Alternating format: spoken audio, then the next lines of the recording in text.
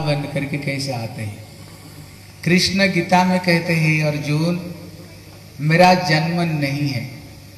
बोले अजो अपि सन अभयात्मा, भूतानापि ईश्वर अपि सन प्रकृति समधिष्ठाय, संभवामि आत्ममाया बोले, हे अर्जुन, मेरा जन्म नहीं है। मैं अजय हूँ, लेकिन तभी मैं जन्म लेता हूँ। बोले, क्यों लेते हैं? भगवान तो अजन्मा है, पर जन्म क्यों लिए? तब हमारे टीकाकारों ने इसके पीछे बड़ी बड़ी रहस्य बताए कम से कम उनने दस कारण बताए, कृष्ण आए तो क्यों आए? आज मैं सुनाऊँगा, कल आपसे सुनूँगा। देखूँगा कौन मेरे को बोल पाता। ठीक है? पहला कारण है बोले जदा जदा ही धर्मस्य ग्लानिर्भवति भारत। अद्भुतानमधर्मस्य तदात्मान सृजाम्य कृष्ण कहते हैं अर्जुन कि जब जब इस जगत में अधर्म फैलने लग जाए और धर्म की हानि होने लगता है, तब तक मैंने इसी जगत में अवतीर्ण होकर के धर्म को रक्षा करता हूँ और अधर्म को विनाश करता हूँ, भक्तों को पालन करता हूँ। कहते ये एक कारण है। बोले, दूसरा कारण है, बोले, अनुग्रहाय भक्तानाम करोमी विविध क्रिया। बोले, मैं भक्तों को ऊपर में अनुग्रह, कृपा करने के लिए आता हूँ। अगर कृष्ण जन्म नहीं लेते, भगवान राम जन्म नहीं होते, अगर ये मधुर मधुर लीला नहीं करते, फिर हम कथा क्या सुनते? फिर तो दुनियादारी, संसार की बात करते। इसलिए भगवान अपना भक्तों को ऊपर में कृपा करके अपना लीलाओं में भक्तों का मान उसमें डूब जाए। इसलिए भगवान जगत में लीला किया है। तीसरा कारण बताए, जब देवकी वसुदेव को पास में भगवान कंस के कारागार में चतुर्भुज रूप लेकर प्रकट हुए। देवकी वसुदेव बोले, प्रभु, आप तो आपको तो मैंने अपना बच्चा रूप में प्रार्थना किया था। ये चतुर्भुज रूप लेकर क्यों प्रकट हुए हो? भगवान ने कहा, देव की वसुदेव, तुम दोनों पूर्व जन्म में कृष्ण और सुतपा थे। देश का राजा रानी। लेकिन इस सारे राज भोग को त्याग करके पेड़ से जो पत्ता गिर जाता था, उसको खा खा करके दस हज़ार साल तपस्या की। मैंने दर्शन दिया, बोले, बर मांगो। बोले, आप जैसे हमें एक लाला चाहिए। ठाकुर जी बोले, मेरे जैसे तो कोई है ही मेरे जैसे तो मैं हूँ। ठीक है, अगले जीवन में मैं तुम्हारी बेटा बन कर आऊँगा इसलिए भगवान उनको ये बात याद कराए। इसलिए ये प्रश्नी और सुतपा की इच्छा पूरी करने के लिए ठाकुर जी जगत में अवतीर्ण हुए। चौदह कारण बताए, एक द्रोण और एक धरा हुए। ये दोनों भी ब्रह्मा जी की उपासना की। ब्रह्मा जब संतुष्ट हुए, बोले ब्रह्मा को बोले, प्रभु, जैसे स्वाभाविक रूप में एक बालक माँ की पेट से जन्म लेता है अब मेरे गर्भ से जन्म लेना जैसे मैया अगर बच्चा कोई शासन, बच्चा कोई उल्टा पुल्टा करे, मैया क्या करते, डांटती हैं डपटती हैं, शासन करती हैं, बच्चे को जैसे अंगुल पकड़ा करके, ठुमुक ठुमुक करके चलाना सिखाती हैं, कहते, हे प्रभु, आप मेरे घर में बालक बन करके आना और मैं आपको ऐसे ही पल्ले में झुलाना चाहती हूँ। बोले, कोई बात नहीं। बोले, वही नंद और जसोदा बन करके आए कृष्ण तो मथुरा में प्रकट हुए, लेकिन उनको पल्ले में झुलान में किसने झुलाया? और नंद के आनंद भयो, जय कन्हैया, लाल की उत्सव कहाँ पर हुई? बोले, ये गोकुल में हुई है। इसलिए भगवान उनकी इच्छा पूरी की है। कहते ये चौथा कारण है। बोले, पंचमा कारण है। बोले, जिस समय भगवान राम लक्ष्मण और जानकी दंडकारण्य में पहुँचे। बड़े बड़े ऋषि जोगी कठोर तपस्या कर रहे थे गोपाल मंत्र में। अभी उन्होंने प्रभु राम को देख करके उनको श्याम की याद आया। बोले, प्रभु, हमें अपना पत्नी रूप में स्वीकार कर बोले नहीं। मैं रामावतार में एक सीता के सिवाय और मैं किसी को ग्रहण नहीं कर सकता हूँ। तुम सबके सब वृंदावन में गोपी बन करके आओ। वो जो बड़े बड़े ऋषि लोग थे, वही सब गोपी बन करके आए। ये गोपी कोई स्त्री नहीं है।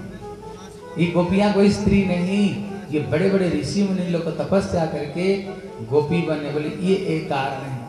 इसका छठवा कारण बताए कहते वेद का कुछ मंत्र था, वो मंत्र भी स्वयं कठोर तपस्या की कृष्ण को। कृष्ण जब दर्शन दिए, बोले बर्मा को, बोले, प्रभु ये गोपियाँ जैसे आपको प्रेम करती हैं, हम ये गोपियाँ जैसे भक्ति चाहिए, बोले नहीं, और किसी चीज़ को मांगो, बोले नहीं, हमें यही चीज़ चाहिए।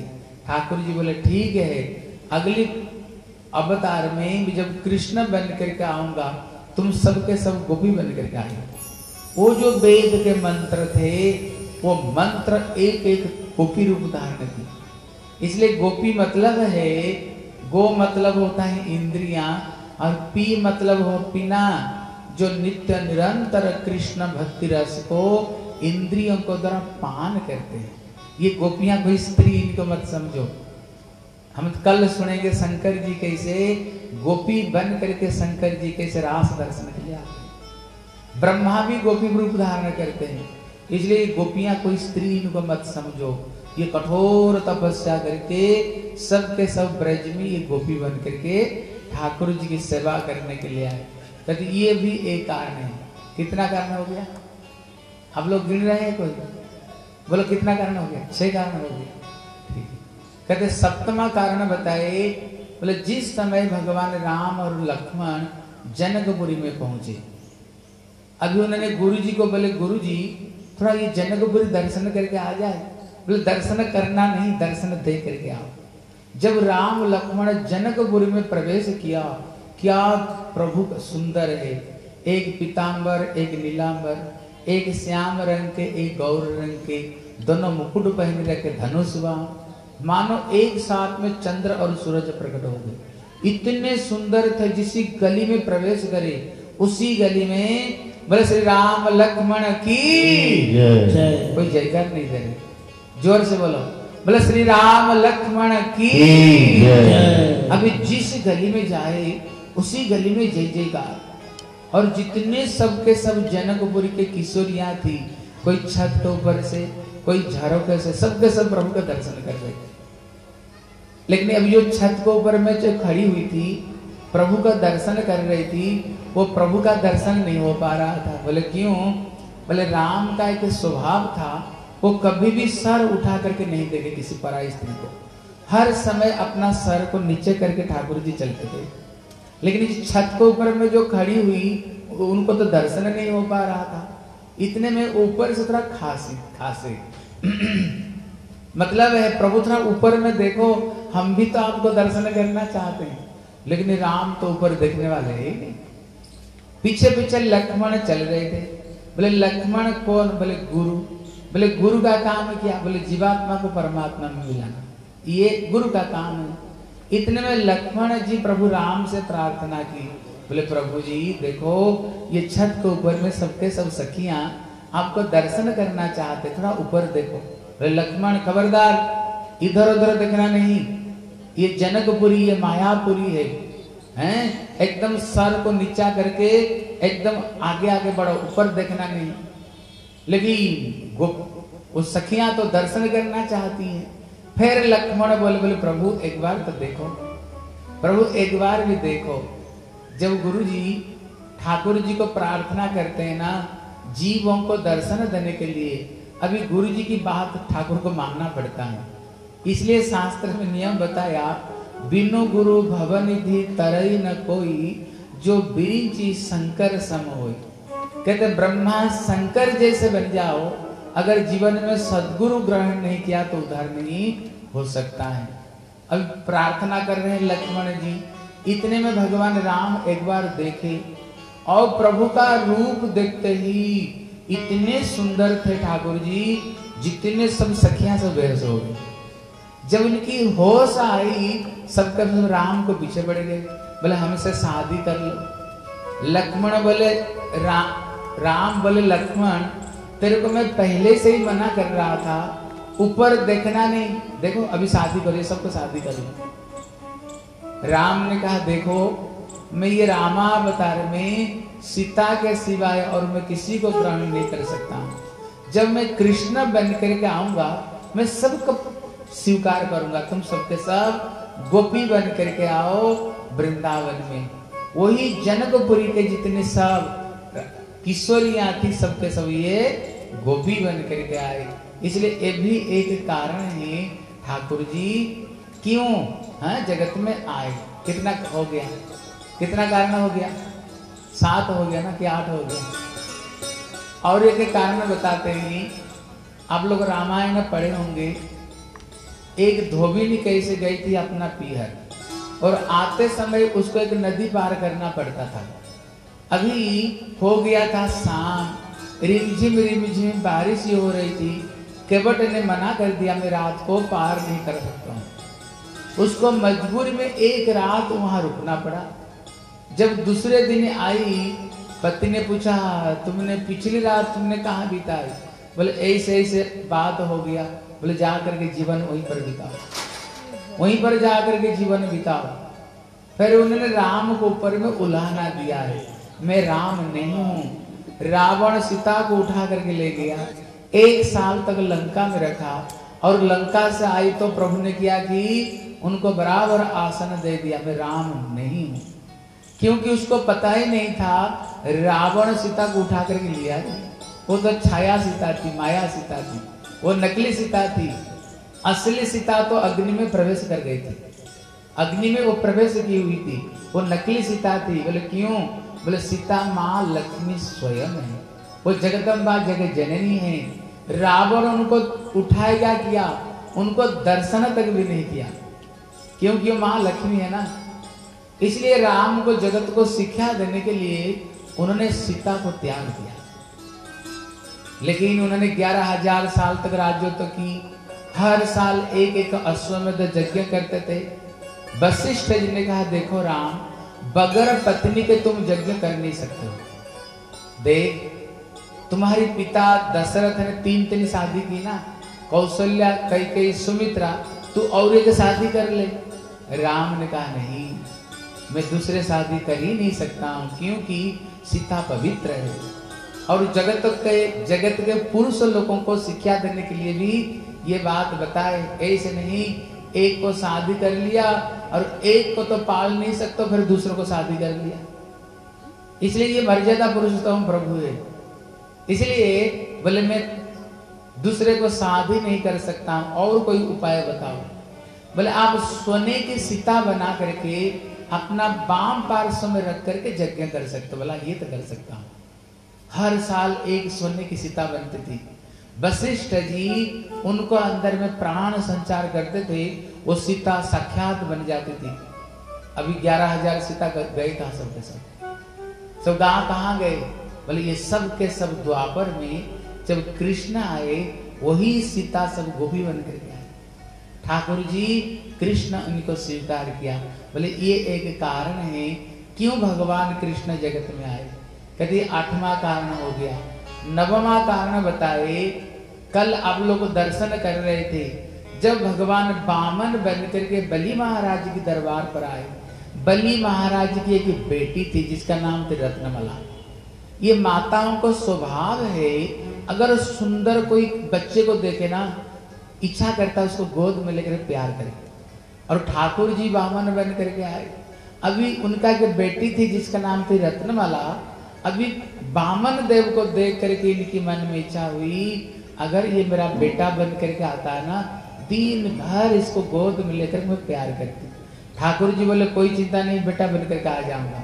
लेकिन जब उन्होंने दोनों पग में सब कुछ ले लिए, अभी तीसरे पग रखने के लिए कोई स्थान नहीं, तब उन्होंने गरुड़ को बोले, इसको नाग फास बंधन में बाँध। दो अभी रत्नमाला सोच रही है, बड़ा दुष्ट तो निकला। मेरे पिताजी का सब कुछ हड़प लिया फिर पिताजी को बाँध भी लिया। बोले, अगर तू मेरा बेटा बन करके आओगे ना तेरे को मैं दूध क्या पिलाऊँगी? तेरे को मैं जहर पिलाऊँगी। वही रत्नमाला कृष्ण लीला में पुतना बन करके आती है। ठाकुर जी स्तन भी बाँध करते हैं और ठाकुर जी दूध भी पीते हैं और वो जहर भी स्तन में जहर लेकर के आएगी। कहते ये एक कारण है। दसवा कारण बताए, जिस समय भगवान राम वनवास में गए, अभी रावण का बहन सुपने का प्रभु राम रूप देखकर मुग्ध हो गई। बोले, मेरे से ब्याह कर लो, शादी कर लो। बोले, मेरे तो ऑलरेडी ये सीता है।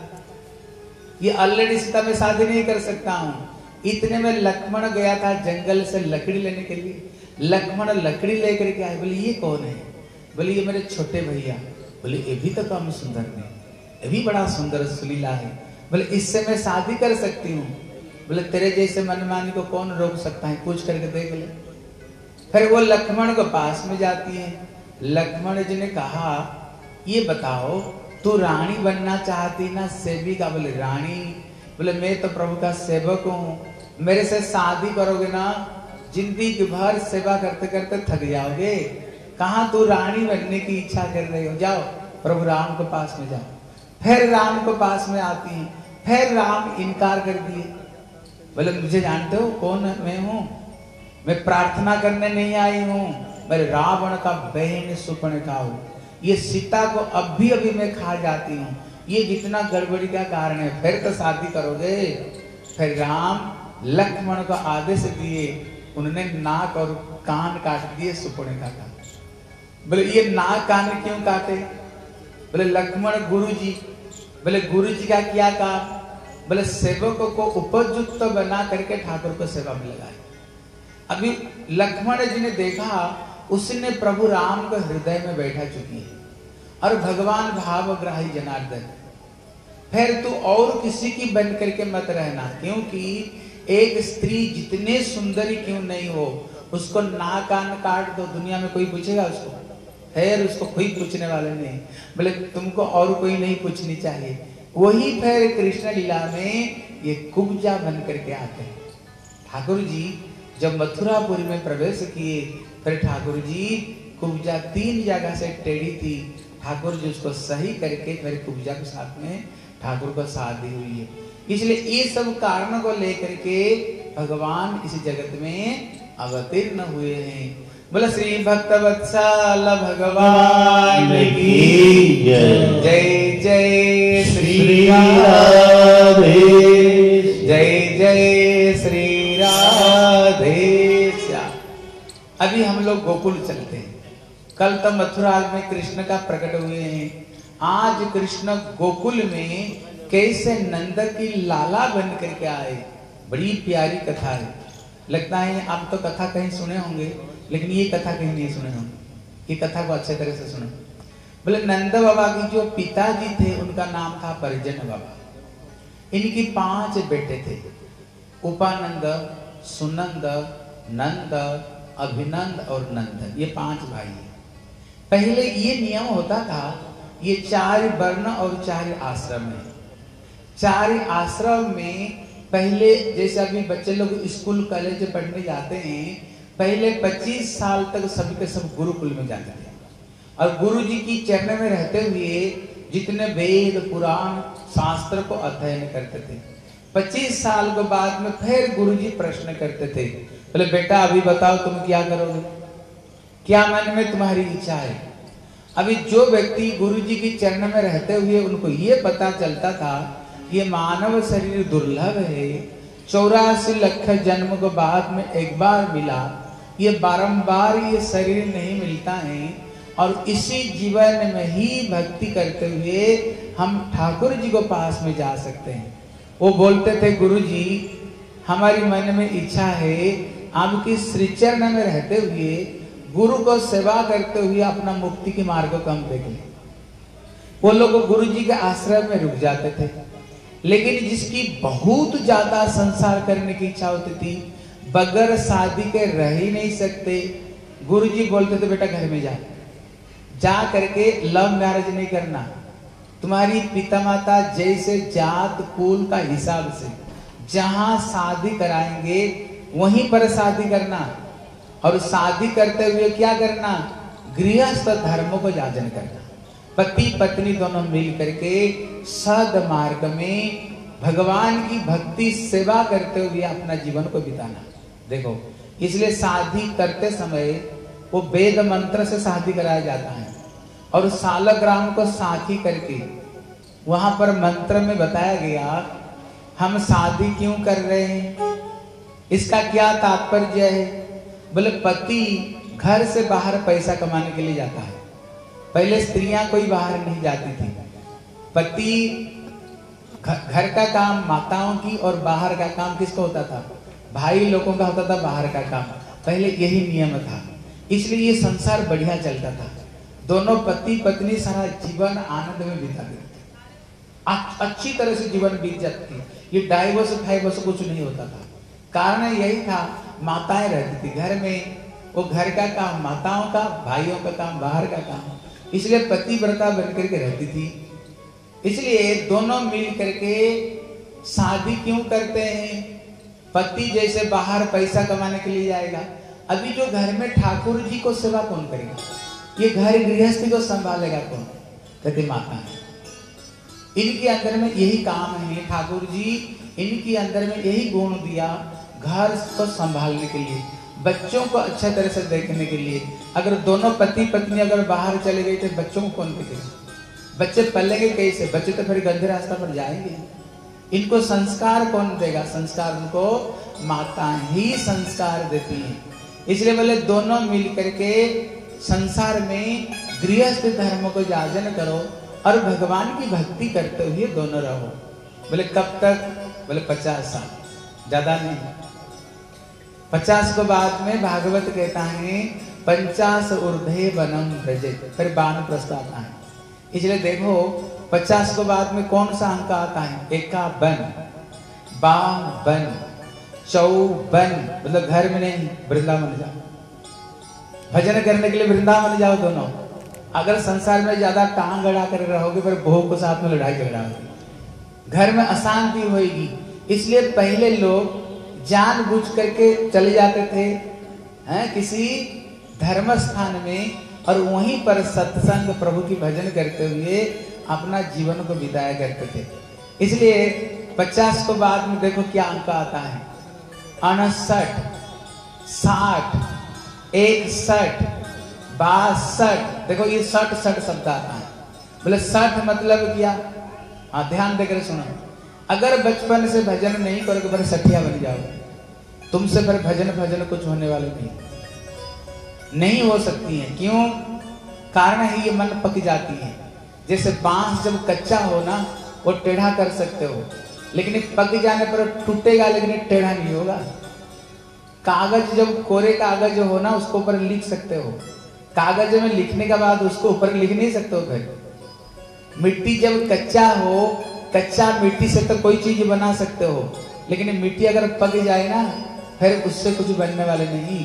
इसलिए जो अंका आती है ना बड़ा महत्वपूर्ण है।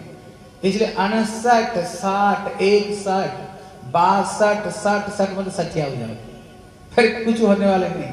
हाँ उसको बाद में देखो, आता है अणहत्तर सत्तर। ये तर तर मतलब क्या है? देखो।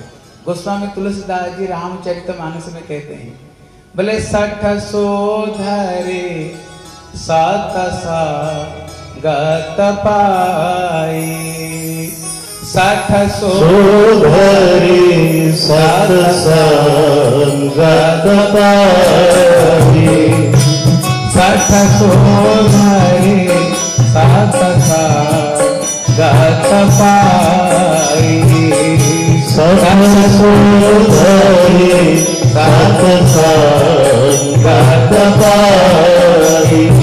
इसलिए गोस्वामी, तुलसीदास जी कहते हैं हाँ हमारी कल्याण होगा ज़रूर। बोले, कैसे होगा? बोले सत्संगत पाए अगर हमें जीवन में सत्संग मिल जाए ना, फिर वही सत साधु ही हमारे जीवन को सुधार देंगे। वही सुधार देंगे साधु, हैं? इसलिए जब तक कहते हैं ना बिनु सत्संग विवेक ना होई, राम कृपा बिनु सुलभ ना सके जब तक जीवन में साधु संग नहीं हो, तब तक जीव का कल्याण नहीं। और जब तक भगवान की कृपा नहीं हो, साधु संग मिलेगा ही साधु तभी मिलेंगे भगवत कृपा से, हैं? इसलिए श्री एक दिन परिजन बाबा ने अपना पाँच बेटों को बुलाए। बोले, बेटो, इधर आओ। बोले, बताओ पिताजी क्या बात? बोले, मेरे को पचास साल हो गया है। इसके बाद में एका बन बाह बन, ये बन बन शब्द कहता है। ये जो मानव शरीर हमें ठाकुर जी ने दिया, ये चौरासी लख जन्म के बाद में दिया। और ये मुक्ति का द्वार है, और किसी जीवन में मुक्ति नहीं मिलती है। केवल ये मानव शरीर में ही मुक्ति मिलती है। हम जान बुझ करके संसार में टांग अड़ा करके रहना नहीं चाहते। मैं अपना मुक्ति का मार्ग में देखना चाहता हूँ। इसलिए मेरे बड़े बेटे को मैं राज सिंहासन में बैठा करके हम दोनों पति पत्नी बान प्रस्थ जाना चाहते हैं। बच्चे बोले, कोई बात नहीं पिताजी, अब जाओ, अच्छे तरह से दोनों पति पत्नी मिल करके भगवान की भक्ति करो। इसलिए उन्होंने श्री नंद बाबा को राज सिंहासन में बैठा करके दोनों पति पत्नी भजन करने के लिए चले गए। अभी चार ही भाइयों का तो बच्चे हैं, लेकिन श्री नंद बाबा का घर में कोई बेटा नहीं। अभी नंद बाबा सोच रहे भैया, भविष्य में राज सिंहासन कौन संभालेगा? मेरे घर में बच्चा ही नहीं। इन्होंने बड़ी तपस्या की, यज्ञ, तीर्थाटन, दान, पुण्य, सब कुछ उन्होंने किया। घर में एक बेटा की जन्म हो जाए। लेकिन बेटा जन्म ही नहीं हो एक दिन ब्रज में कुछ संत लोग भ्रमण करते करते आए। आए तो उन दोनों ने संत सेवा की बड़ी महत्व बताई। बोले, नंद बाबा, जो ना करे लकड़ी, सो करे फकरी। लकड़ी मतलब होता है भाग्य। तुम्हारी भाग्य में जो नहीं फकरी मतलब होता है संत। अगर सचमुच से कोई साधु हो, अगर आशीर्वाद दे देना, भगवान भी, विधाता भी, वो भाग्य रेखा को बदला करके संतों का आशीर्वाद फलता फूलता है। संतों की इतनी कृपा, बड़ी संत सेवा की महत्व बताए देखो, भागवत का एक कथा सुनो, बढ़िया कथा है। जैसे हमारे राहुल प्रभु जी भागवत कथा करवा रहे हैं ना, देखो इसका कितना महिमा, भागवत दसम स्कंद बोले एक समय कृष्ण के बच्चे लोग खेल रहे थे। खेलते खेलते हठात देखा, कुएँ के अंदर में एक बहुत बड़ा गिरगिट पड़ा हुआ। इतने बड़ा गिरगिट था, वो कुएँ में ऐसे फंसा हुआ था, टस से मस भी नहीं हो पा रहा था, श्वास भी नहीं ले पा रहा था। कृष्ण के बच्चों ने बड़े कोशिश की निकालने के लिए, लेकिन उसको निकाल नहीं सके। इतने में कृष्ण को बुलाया, बोले, पिताजी पिताजी जल्दी जल्दी आओ, जल्दी जल्दी आओ। बोले, क्या बात है? देखो, ये कुएँ के अंदर में बहुत बड़ा प्राणी फंसा हुआ बड़ा कष्ट उठा रहा है। कृष्ण तो सब जानते हैं। इतने में कृष्ण जब चरण बढ़ाए, चरण स्पर्श होते ही बड़े सुंदर उसने एक देवता रूप धारण किया। कृष्ण के बच्चे लोग बोले, भैया, ये गिरगिट बना हुआ था, इतने सुंदर देवता। कृष्ण ने पूछा, भैया, तुम हे कौन? ये गिरगिट बन कर क्यों फंसा हुआ था? बोले, प्रभु, आप तो सब जानते हो। आपको मैं क्या बताऊँ? तभी मैं बता रहा हूँ, आप लोगों ने सुने होंगे, सत्य युग में एक नृग नाम के एक राजा हुए। बोले हाँ ये तो पृथ्वी का सबसे बड़े दानी थे। कहते, पृथ्वी का धूल कणा को कोई गिन सकते हैं, बारिश का बूंद को कोई गिन सकता लेकिन इनका दान को कोई नहीं गिन सकते। इतने उन्होंने गैया, जो गैया, केवल एक ही बच्चा जन्म दिया, बछड़ा। उसको सींग को सोने में मढ़वा करके, खूर को चांदी में मढ़वा करके दान दिया। बोले, फिर ये दुर्गति तुम्हारी क्यों हुई? बोले, बीच में गड़बड़ी मेरी हो गई। बोले, क्या गड़बड़ी हो गई? बोले, मैंने संकल्प करके एक गैया एक ब्राह्मण को दिया। लेकिन मेरी अनजान में वो गैया कब आकर के दूसरे गैया में मिल गया, मेरे को पता नहीं चला। फिर मैंने दूसरे ब्राह्मण को फिर संकल्प करके फिर उसी गैया को दे दिया। मेरे को पता नहीं चला, गलती से हो गई। मैंने पहले एक दिन जिसको दिया था, वो ढूंढते ढूंढते आ रहा था, मेरी गैया कहा? देखा, वो गैया को दूसरे ब्राह्मण ले जा रहा है। उसने कहा, देखो, ये गैया मेरी। बोले, तेरी कैसे? राजा, अभी अभी मुझे दिया। बोले, राजा, कल मेरे को संकल्प करके दिया था। अभी दोनों को बीच में लड़ाई शुरू हो गई। मेरी, तेरी करते करते लड़ते लड़ते दोनों आए राजा के पास में। राजा ने देखा, भैया, मेरी तो गड़बड़ी हो गई। दोनों ब्राह्मणों के चरण में गिर पड़े, बोले एक एक काम करो, ये गैया छोड़ दो, इसका विनिमय में मैं दस गैया देता हूँ। बोले, नहीं, हमें तो यही गैया चाहिए, क्यों लड़ाई हो गई ना? अपना बात पर अड़ गए। बोले एक काम करो, सौ गैया देता हूँ। बोले, नहीं, यही गैया। बोले, हज़ार। बोले, नहीं। लाख? बोले, नहीं। बोले, करोड़? बोले, नहीं। हमें केवल यही गैया चाहिए। अभी दोनों ने लड़ाई करते करते बोले, ओ, गिरगिट जैसे रंग बदलाते हो। तेरे को गिरगिट जन्म में जाना पड़ेगा। अभी मृत्यु के बाद में जमपुरी में गए। बोले, इसका कापी खोलो। चित्रगुप्त ने कापी खोले। बोले, महाराज, इनका जो दान है ना, अक्षय स्वर्ग की प्राप्ति होगी लेकिन ये बीच में एक गड़बड़ी भी हो गई। बोले, क्या हो गई? बोले, एक गैया को संकल्प करके जब दे दिए उसने फिर संकल्प करके दूसरे ब्राह्मण को दिया। यही गड़बड़ी हुई और ये दोनों ब्राह्मण लड़ाई करके अभिशाप दिए, तेरे को गिरगिट जन्म लेना पड़ेगा, इनको गिरगिट बनना पड़ेगा। यम महाराज बोले, बताओ, पहले पाप लोगे ना पुण्य लोगे? बोले, भैया, पुण्य तो है ही है, जब पाप थोड़ी सी मेरे को पाप थोड़ी सी दे दो। फिर उसने गिरगिट बना, बोले, कब से? बोले, ये सत्य युग से। बोले, अभी कौन सा समय बोले द्वापर का अंतिम। मतलब कितने लाख साल तक गिरगिट बने। अभी यहाँ प्रश्न होता है, फिर उनको कृष्ण दर्शन कैसे मिला? भगवत कृष्ण दर्शन कैसे मिला? तब इसका रहस्य बताए, इनकी स्वभाव में था दान करना। दूसरों को दान करना स्वभाव में था, लेकिन एक दिन किया हुआ सचमुच से कोई एक शुद्ध साधु घर में आया। सचमुच से जो भजन करने वाले जो प्रभु की भक्ति करते हैं, तब तो उन्होंने वो संतों को बैठा करके अपना हाथों से खाना खिलाया। बोले, बाबा, आपको कुछ चाहिए तो बताओ। बोले, एक भागवत ग्रंथ दे सकते हो। मन में इच्छा होती है भागवत पढ़ने के लिए। उस समय तो प्रिंटिंग प्रेस थी नहीं, ताल पत्ते के ऊपर में पूरी उन्होंने भागवत को लिखा करके अठारह हज़ार श्लोक उन्होंने दिया था किसको? वो ब्राह्मण को। वो ब्राह्मण रोज इसी भागवत ग्रंथ को पढ़ता था। भागवत कौन है? बोले, कृष्ण स्वयं। जब भगवान कृष्ण ये संसार छोड़कर गए, कृष्ण स्वयं ये शब्द ब्रह्म रूप में, ये भागवत रूप में आए। इसलिए भागवत में जो प्रथम द्वितीय स्कंध, ये बांके बिहारी की दो चरण है। तृतीय, चतुर्थ स्कंध ठाकुर जी की दो जंघा। पंचम स्कंध उनकी नाभि। षष्ठ, सप्तम स्कंध इनकी दो हाथ। अष्टम स्कंध भगवान की बक्षस्थल नवम स्कंध भगवान की कंठ दसम स्कंध ठाकुर की मुखार बिंद एकादश स्कंध ललाट और द्वादश स्कंध इनका सर है। इसलिए उन्होंने एक जो भागवत ग्रंथ दान किया था, एक सुत साधु को दान किया था, और वो भागवत ग्रंथ पढ़ते थे। ये भागवत कृष्ण स्वयं, इसलिए एक दिन क्या हुआ? साक्षात कृष्ण दर्शन मिला। और कृष्ण का चरण स्पर्श उसको प्राप्त हुई। और कृष्ण का चरण स्पर्श करते हुए सीधा उन्होंने गोलोक वैकुंठ चल मतलब जो भागवत जो दान करते हैं ना, कहते, भैया, इससे बड़ा पुण्य जगत में कुछ है ही नहीं। ये पृथ्वी का सबसे बड़ा दान है, जो भागवत कथा दान करते हैं। इसलिए इसकी सबसे बड़ा पुण्य ये भागवत कथा दान करना बोला श्रीमद भागवत कथा मृतम की अरे ज़ोर से जयकार लगाओ। ज़ोर से बोलो। बोले श्रीमद भागवत कथा मृतम की जय हो। इसलिए यहाँ पर श्री नंद बाबा संत लोग जब आए उन्होंने संत सेवा की बड़ी महत्व बताए। हाँ देखो और एक चीज़ समझो। अच्छे तरह से दिमाग में बैठा कहते उसने जो इतने, जो गैया दान दिए हैं, फिर उसका फल क्या हुआ? है उसने जो इतने गैया दान दिए, फिर इसका क्या फल हुआ? और उन्होंने इतने दान किया। हाँ यहाँ पर शिक्षा देते हैं।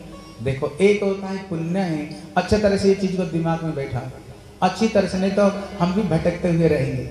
एक होता है पुण्य, एक होता है पाप, और एक होता है सुकृति। ये तीनों चीज़ में फ़र्क समझो। बोले पुण्य क्या है, जैसे दुखी दरिद्र को सेवा करना, अन्न छत्र खोल देना, दूसरों को मदद करना, भोजन देना, स्कूल, कॉलेज खोलना, इसका नाम पुण्य है। ये जो पुण्य है, ये शरीर संबंधी वस्तु है। इसलिए जैसे शरीर एक दिन नश्वर हो जाता है, कभी ये पुण्य भी एक दिन नष्ट हो जाएगा। पुण्य करोगे, स्वर्ग जाओगे, खत्म कर आओ जगत में। दूसरा नंबर होता है पाप। बोले, पाप किसको कहते हैं? बोले, वेद विरुद्ध धर्म पाप है। जैसे दूसरों को कष्ट देना, है? चोरी करना, शराब पीना, मांस खाना, है? पर स्त्री प्रति गमन करना, ये सब होता है पाप है। बोले, इसका फल किया? बोले नरक बोले, फिर जब खत्म हो जाएगा, फिर उसी जगत में आओ। इसी संसार में ये पाप पुण्य दोनों, ये संसार में तुमको भटकाते ही रहेंगे। लेकिन और एक तीसरी वस्तु है, जिसका नाम कहते सुकृति। कहते भैया, ये सुकृति क्या चीज़ होती है? बोले, ये शरीर संबंधी नहीं, ये आत्मा संबंधी। जैसे ये भागवत कथा करा रहे हैं, ये शरीर संबंधी नहीं, ये आत्मा को बल देने वाले हैं। जैसे ठाकुर का भजन करते हो, कथा सुनते हैं हैं? किसी धाम में गए, ठाकुर का दर्शन किया, तुलसी की परिक्रमा की, तुलसी में पानी दिया तो ये सबके सब ये आत्मा संबंधी है। भगवान भक्त को लेकर के जो कुछ क्रिया ये इसको कहते हैं सुकृति। लेकिन इसका फल क्या है? बोले, ये कभी खत्म नहीं होगा।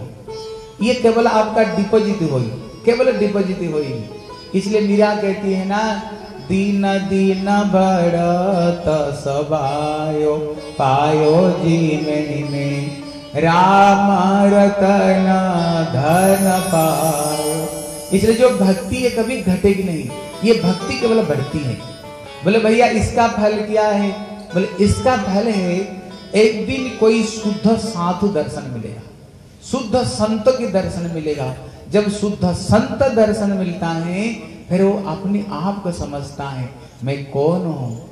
आया कहाँ से? फिर जाना कहाँ पर है? फिर ये दुनिया क्या है? माया क्या है? भगवान क्या है? भक्ति क्या है? अभी उनको आत्म तत्व की ज्ञान प्राप्त होता है। जब आत्म तत्व की ज्ञान प्राप्त होगा, फिर वो समझ पाएगा, भैया, हम तो ईश्वर अंश जीव अविनाशी, हम तो ठाकुर की संतान है। इसलिए उनको भक्ति करना हमारी कर्तव्य है। फिर प्रभु का भक्ति करते करते कहा जाएगी? इसका फल कहाँ? बोले, गोलोक वृंदावन। जिसको कृष्ण गीता में कहते हैं, अर्जुन, जत गत्वा न निवर्तन ते धाम परम जहाँ जाने पर कभी जीवी संसार में आएगी, कभी संसार में नहीं आएगा। लेकिन पुण्य का फल कहाँ पर? कृष्ण कहते गीता में, अर्जुन, आप ब्रह्म भुवना लोकात पुनराभर्ती न अर्जुन। अगर पुण्य कर्म करके ब्रह्मलोक तक भी चले जाओगे, लेकिन पुण्य खत्म होने पर यहीं पर फिर आओगे। फिर इसी जन्म मृत्यु का चक्कर में फिर तुम भटकना पड़ेगा। ये जन्म मृत्यु का चक्कर से तुमको मुक्ति नहीं मिलेगी। केवल प्रभु की भक्ति से ही ये जन्म मृत्यु का चक्कर से आपको छुटकारा मिल सकती है। इसलिए श्री नंद बाबा का घर में जब संतों लोगों ने कहा नंद बाबा, जो ना करे लकड़ी, सो करे फकरी। जो तुम्हारी भाग्य नहीं कर सकते हैं, अगर कोई शुद्ध साधु का अगर आशीर्वाद हो जाए ना, वो काम पूरी हो जाएगा। अभी नंद बाबा सोचे, जब गंगा बहते बहते घर की दरवाज़ा में आ गई फिर उसमें गोता क्यों नहीं लगाते?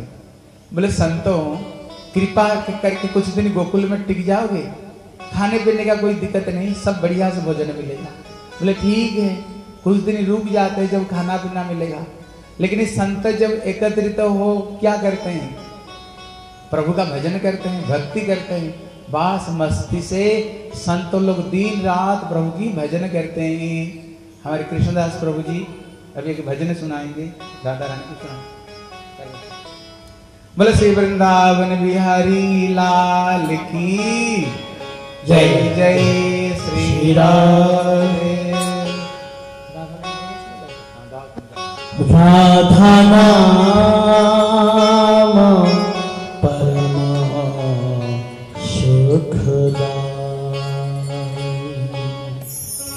राधा नाम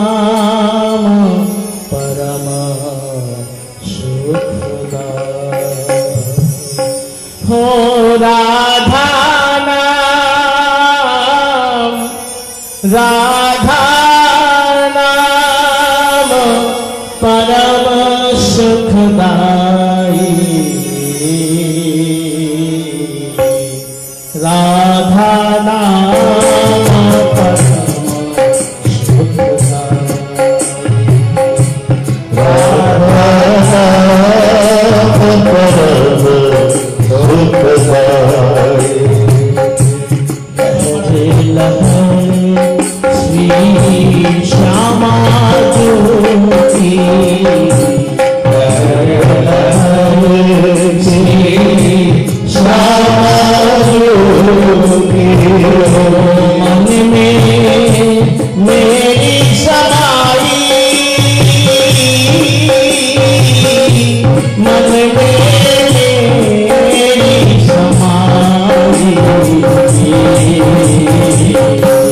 राधा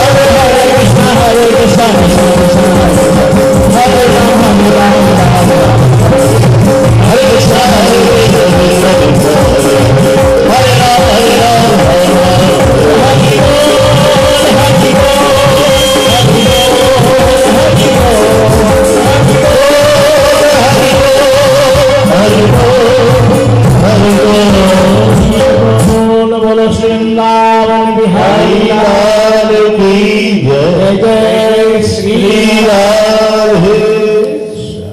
एक दिन नंद बाबा उनको पता चला, संत लोग आपस में चर्चा कर रहे थे।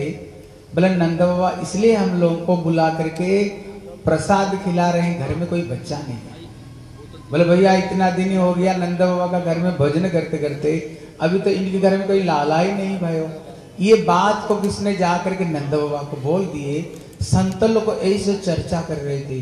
नंद बाबा इतने प्रसन्न हो गए। बोले, भैया, जब संत लोग कह रहे हैं, घर में लाला कब है वो? संतों का वाणी कभी झूठी नहीं होती है। मेरे ज़रूर घर में लाला का। सचमुच से ब्रह्म मुहूर्त में नंद जसोदा एक स्वप्न देखा। अगर ब्रह्म मुहूर्त में कोई स्वप्न होना सच होता है, देखो स्वप्न क्या देखे। दोनों का नींद खुल गई। नंद बाबा बोले जसोदे जसोदे, मैंने एक बड़ा प्यारा स्वप्न देखा है। जसोदा बोले मैंने भी एक सुंदर स्वप्न देखी। पहले आप बताओ क्या देखा? नंद बाबा कहते हैं, मैंने देखा तेरी गोद में एक सुंदर बालक पौड़ रहा है और तुम्हारी स्तन पान करते समय ये दोनों धारों से दूध बहते बहते कुर्ता भीग रहा था। मेरे को स्वप्न नहीं लगा, सचमुच से तेरी गोद में एक बच्चा है। नंद बाबा बोले जसोदा बोले आप भी सुन लो, मैंने क्या स्वप्न देखा? मैं भी ऐसे ही स्वप्न देखा, एक सुंदर बालक मेरे पीछे पीछे माँ माँ करते करते आ रहा है। और कपड़ा खींचते हुए बोले, मैया, मेरे को गोद में ले ले, मैया, मेरे को दूध पिला ले। वो मचल रहा था। मेरे को लगा, स्वप्न नहीं, सचमुच से के बालक है। और उसी रात को ही मैया जसोदा गर्भ धारण की। अब ब्रज में पूरा हल्ला हो गया, देखो। मैया की ऐसे उम्र हो गया था, बच्चे होने का कोई संभावना नहीं। लेकिन इसी उम्र में भी संतों का आशीर्वाद से मैया जसोदा गर्भ धारण की। अभी जितने ब्रजवासी थे, इतने खुश हो गए। जहाँ पर संतों को देखे ना, बोले, राम राम बाबा, राम राम जी, बड़े उनकी तारीफ़ होने लग गई। क्योंकि जिसकी उम्र बीत गई संतान की, उसी समय गर्भ धारण करना। ये कोई साधारण बात नहीं। एक होता है गर्भ संस्कार। जब मैया जसोदा गर्भ धारण की थी, उस समय उनको प्रभु की सुंदर सुंदर लीला की उनको फटो दिखाया जाता था। गीता रामायण पढ़ाया जाता था। तो वो बच्चा बड़ा संस्कारी होकर के जन्म ग्रहण करता है। अभी उनको सुंदर सुंदर छवि दिखवाया, रामायण पढ़वाए, बड़ी सुंदर सुंदर उनको लीला दिखाई जाती है। पहले तो मैसेज होता ही नहीं, पहले पता चल जाए अगर बेटी कभी कभी मार डालते हैं। लेकिन कभी कभी बड़े बुढ़ियों के अंदर में बड़ी ज्ञान होती थी। एक बूढ़ी माता जी बोले, देखो जसोदे लगता है तेरे पेट में एक बेटा है। बोले, तेरे को पता कैसे चला? बोला, तेरा जो होठ है ना, वो पीली पीली दिख रहा है। होठ तुम्हारी पीला पीला दिख रहा है मतलब गर्भ में बेटा होने वाला है। एक गोपी ने बोले, देखो, लगता है तुम्हारे पेट में दो बच्चे हैं। बोले, कैसे? तब उन्होंने पूछा तुमने कुंवारी पड़े में कोई जुड़मा केले खाई थी ना क्या? बोले, लगता है तेरे पेट में दो बच्चे। सचमुच से एक कृष्ण और एक जोग माया, दो बच्चे थे। अभी जितने ब्रज की गोपियाँ थी, वो छह छह महीना पहले चौरासी चौरासी गज के लहंगा चुंदरी बना करके रखे। बोले, नंद के लाला होगा तो हम पहन करके बधाई देने के लिए जाएगी। अभी भगवान कृष्ण जन्म होने वाले। नंद बाबा की बहन थी जिनका नाम थी सुनंदा। वो छह महीना पहले से आकर घर में बैठी गई। बोले, क्यों? बोले, भाभी गर्भवती है ना, बच्चा जन्म देगा तो मेरे को नौ लाख की हार मिलेगी। इसलिए वो छह महीना पहले से आकर घर में बैठी गई। वो घर का सारे काम काज वो वही कर रही थी। अभी भगवान कृष्ण जन्म होने वाले ठाकुर जी, देखना साधारण कोई मंत्री आए, उनके लिए कितने स्वागत होता है। अभी विश्व ब्रह्मांड का मालिक अभी भगवान कृष्ण जन्म लेने वाले ये वृंदावन धाम तो इतने सुंदर सद धज गई क्योंकि ठाकुर जी बड़े सुंदर सुंदर प्यारी प्यारी ठाकुर जी लीला करेंगे। कभी ये यमुना नदी तो कलकल नाद से बोले जमुनत्री से कलकल नाद करते हुए प्रवाहित तो हो रही है। और कृष्ण की जय जयकार करते हुए बोले श्री कृष्ण के नैया लाल की बोले कृष्ण यमुना नदी में जल विहार करेंगे, फिर ये पटरानी, कृष्ण की पटरानी बनेगी। बोले, दूसरे दूसरे जो नदियाँ थी, वो लोग तो बड़ी प्रसन्न बोले, क्यों? बोले, सबसे जो बड़ी नदी है यमुना है। इनकी सबके सब छोटी बहनी है। अगर यमुना को साथ में, अगर कृष्ण को शादी होगा तो दूसरे नदी क्या लगेगी? साली लग जाएँगे। सबके सब साली लगती है। कहते, दामादों को देखना कभी कभी पत्नी से साली को ज़्यादा प्यार करते हैं। कहते हम कृष्ण का साली बनेंगे ना, इसी नाते कृष्ण हमें भी प्रेम करेंगे, हमें भी प्यार करेंगे। कहते ये कमल फूल खिलता है दिन में, सूर्य किरण में। लेकिन रात को ये कमल फूल खिल गई, बोले, किस लिए?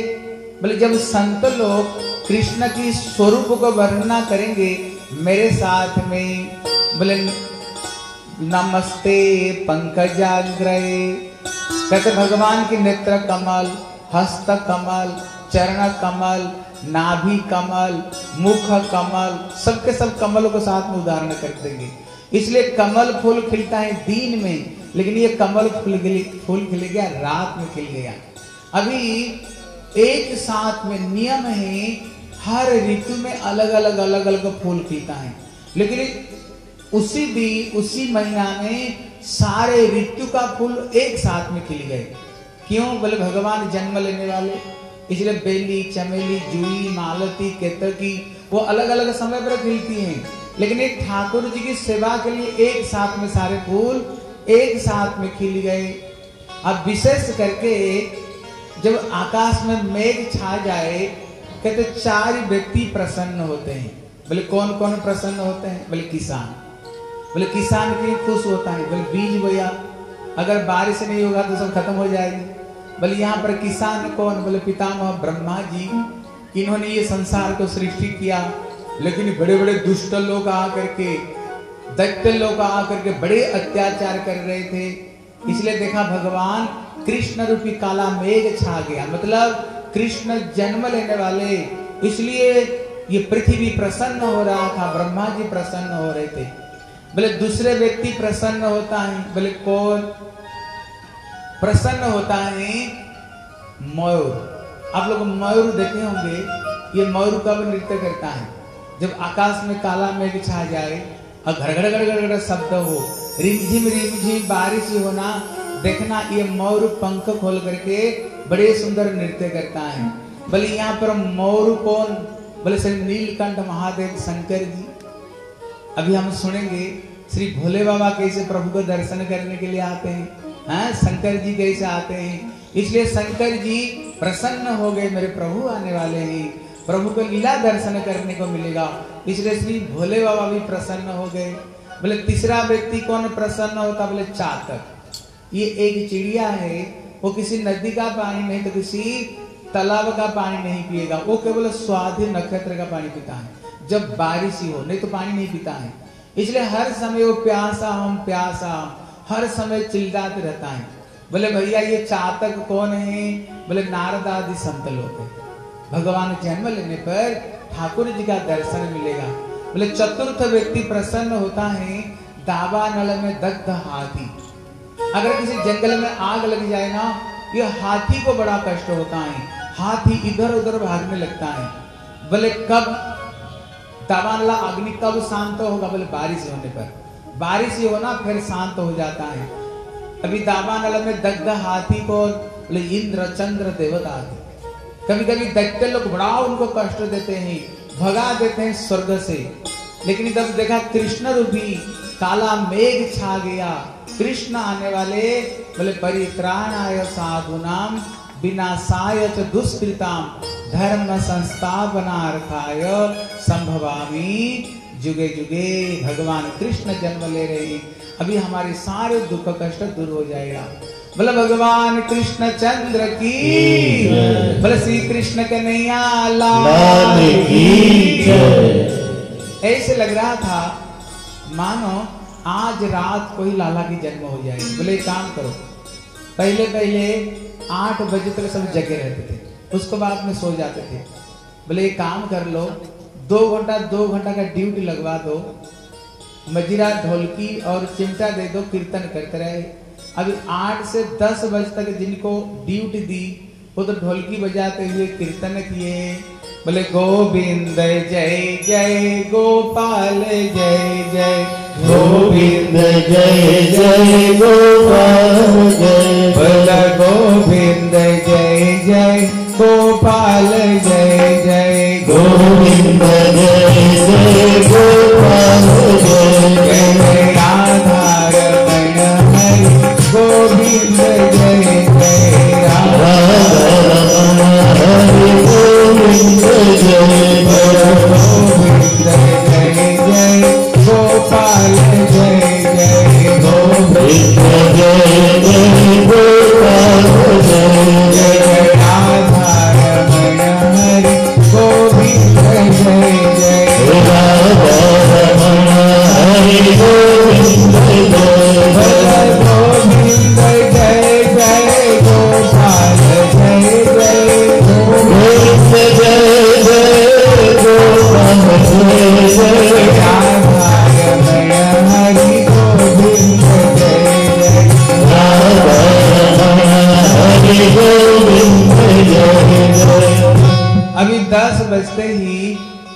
माया ने सबके सब घूम घूम सुला दिया।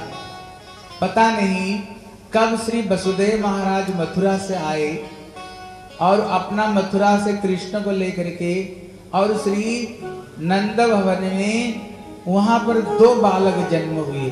पहले तो कृष्ण जन्म हुए, उसके बाद में श्री जोग माया दो बच्चे जन्म हुए। लेकिन उन्होंने कब आए कब बच्चे को अदला बदला करके उन्होंने बेटी को लेकर के चले गए, किसको पता ही नहीं पड़ा? सबके सब सोए पड़े हुए जोगमाया सबको सुला दी। एकदम सवेरे सवेरे सुनंदा की आँख खोली। नंद बाबा की बहन को देखा, सबके सब सोए पड़े हुए, अचेत हो करके बोले, भैया, भाभी का क्या हालत है? वो दरवाज़ा खोल करके देखा, मैया जसोदा की गोद में बड़ा सुंदर श्याम रंग का एक बालक पौड़ रहा है और किलकारी मारते हुए खेल रहा था। बोले, भैया, बच्चा कब जन्म हो गया? किसको पता ही नहीं पड़ा। अभी सबके सब सोए पड़े हुए। पहले नंद भैया को खबर देनी चाहिए। मेरे को नवला की हार मिलेगी लेकिन नंद बाबा, हे कहा ढूंढो? अभी नंद बाबा को ढूंढते ढूंढते देखा, नंद बाबा ब्रह्मांड घाट में बड़े बूढ़ों को बीच में बैठ करके माला जप कर रहे थे। उनको माला जब नहीं हो पा रहा था, वो सोच रहे थे, घर में लाला कब है वो? घर में लाला की कब जन्म होएगो यही सोच रहे थे। इतने में सुनंदा ने आ करके बोले बोले, भैया, कमाल है गए है इतना बोलते ही नंद बाबा तो छलांग लगा दी बोले, बहन, कहाँ भयो है बोले, ये बताओ, पहले मेरे को क्या मिलेगा? फिर उसको बाद में मैं बताऊँगी। बोले, ले नवला की हार तू ले ले। बोले, बाबा, इतने बड़ी बात है ना, जिसको सामने नवला की हार भी कुछ नहीं। बोले, क्या बोल रहे हो? तेरे को पता है, ये नवला की हार है। बोले, बाबा, तेरे को पता, बात कितनी बड़ी? तेरे को भी पता ही नहीं, बात कितनी बड़ी है। बोले, बता दे, और क्या मिलेगा? बोले, ले, वो जमुना किनारा में जितने जमीनी जगह है ना, तेरे नाम पर लिखा गया जा, उसको ले ले। बोले, भैया, बात इतने बड़ी है जिसको सामने ये यमुना किनारे की जितने तुम्हारी जमीनी जगह है ना, उसको सामने भी कुछ नहीं। बोले, क्या बोल रहे हो? बोले हाँ बाबा, बात बहुत बड़ी, बता दे। और क्या दोगे? बोले, ले ट्रेजरी का सारे चाबी का भी तू ले जो इच्छा उसको खोल करके ले लेना। लेकिन ये बता तो सही, घर में कहा भयो है? बोले, भैया, तेरे घर में लाला भयो है। बोले श्री नंद के लाला हम लोगों ने कोई ताली नहीं बजाया कृष्ण घर में लाला है। सब चुपचाप बैठे हैं।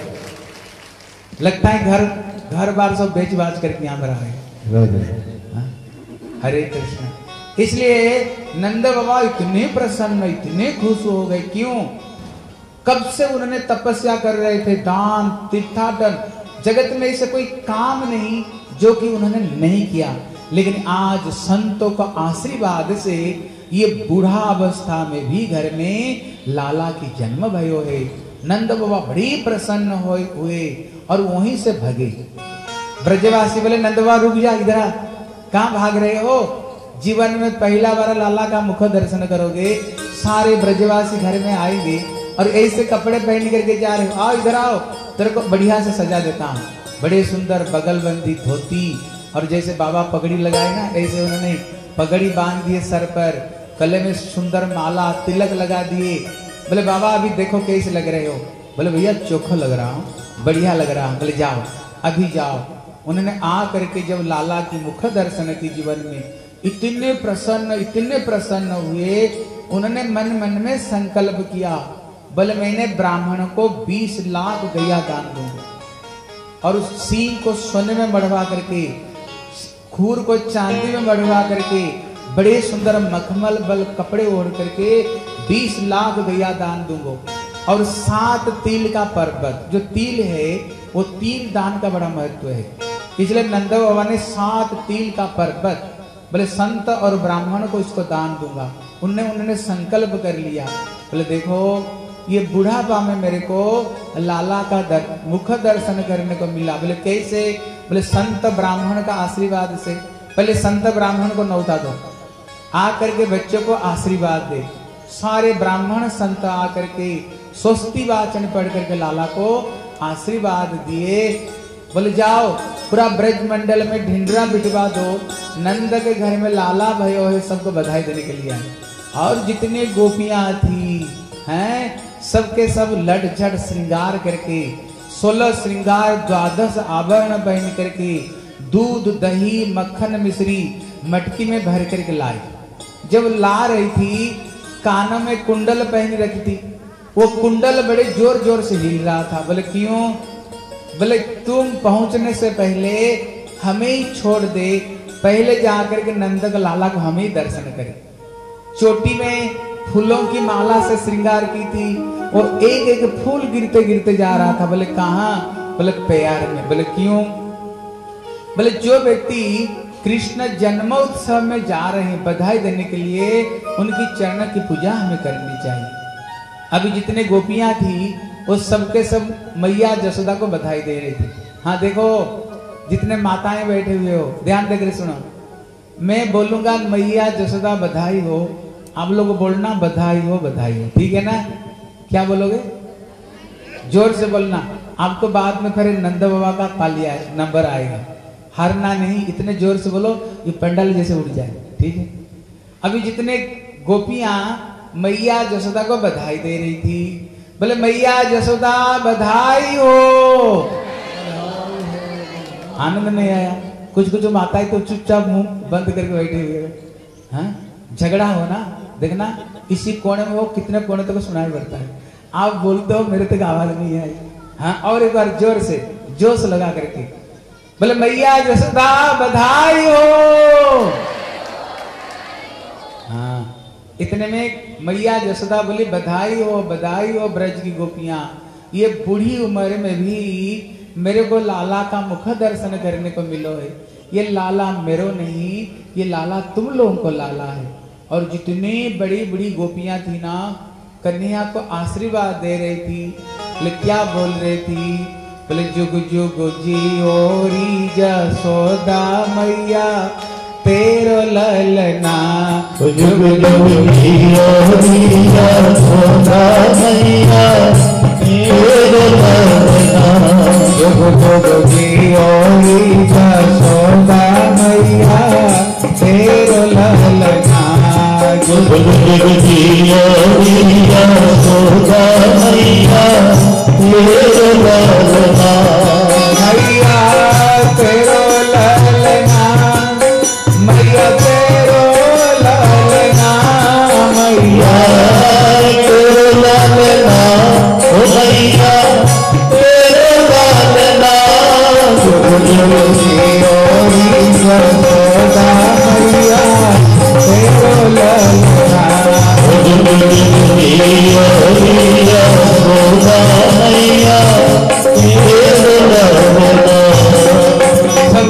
आशीर्वाद दे रही थी।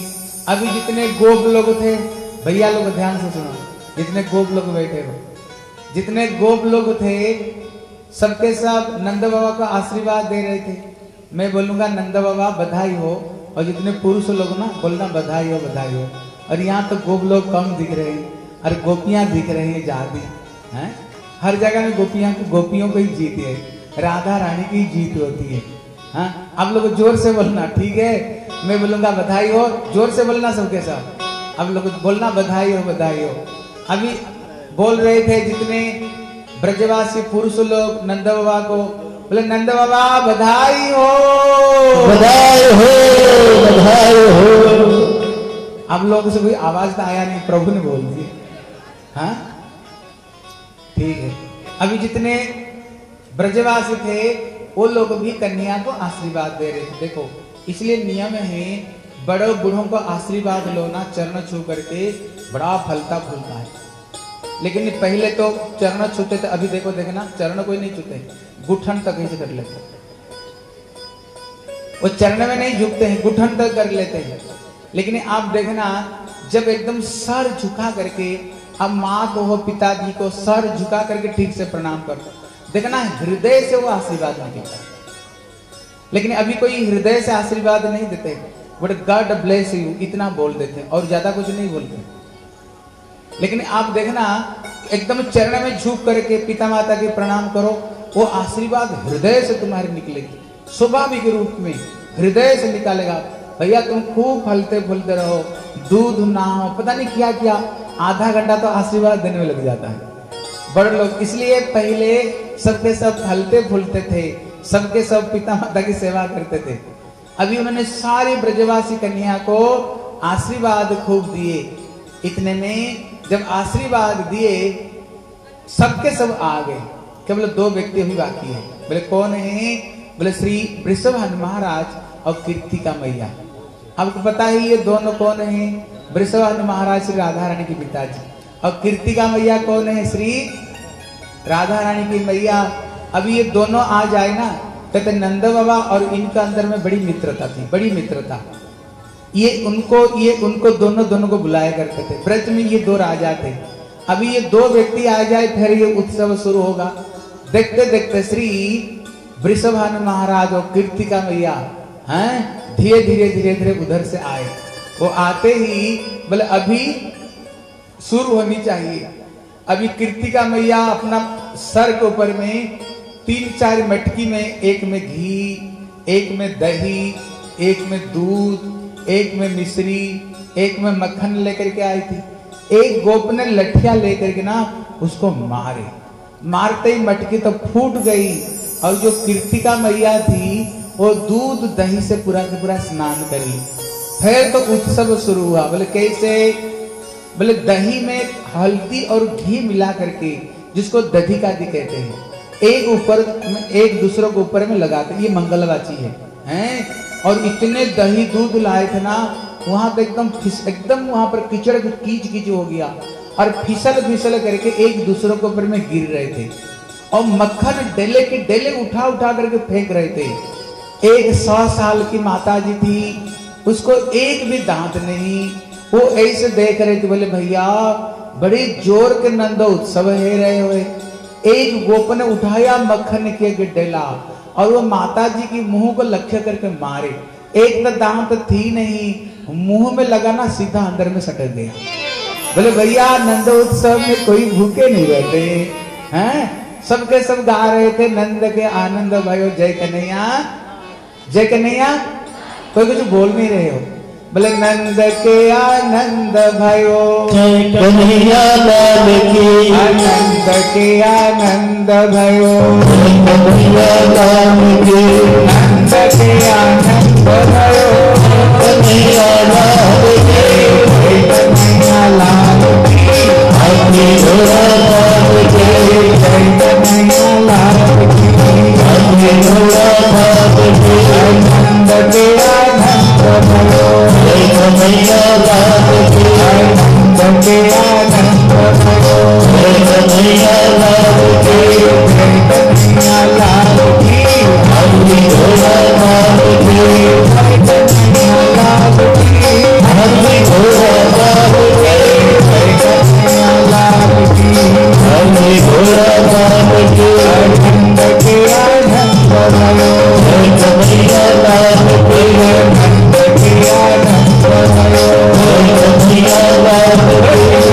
लाला की।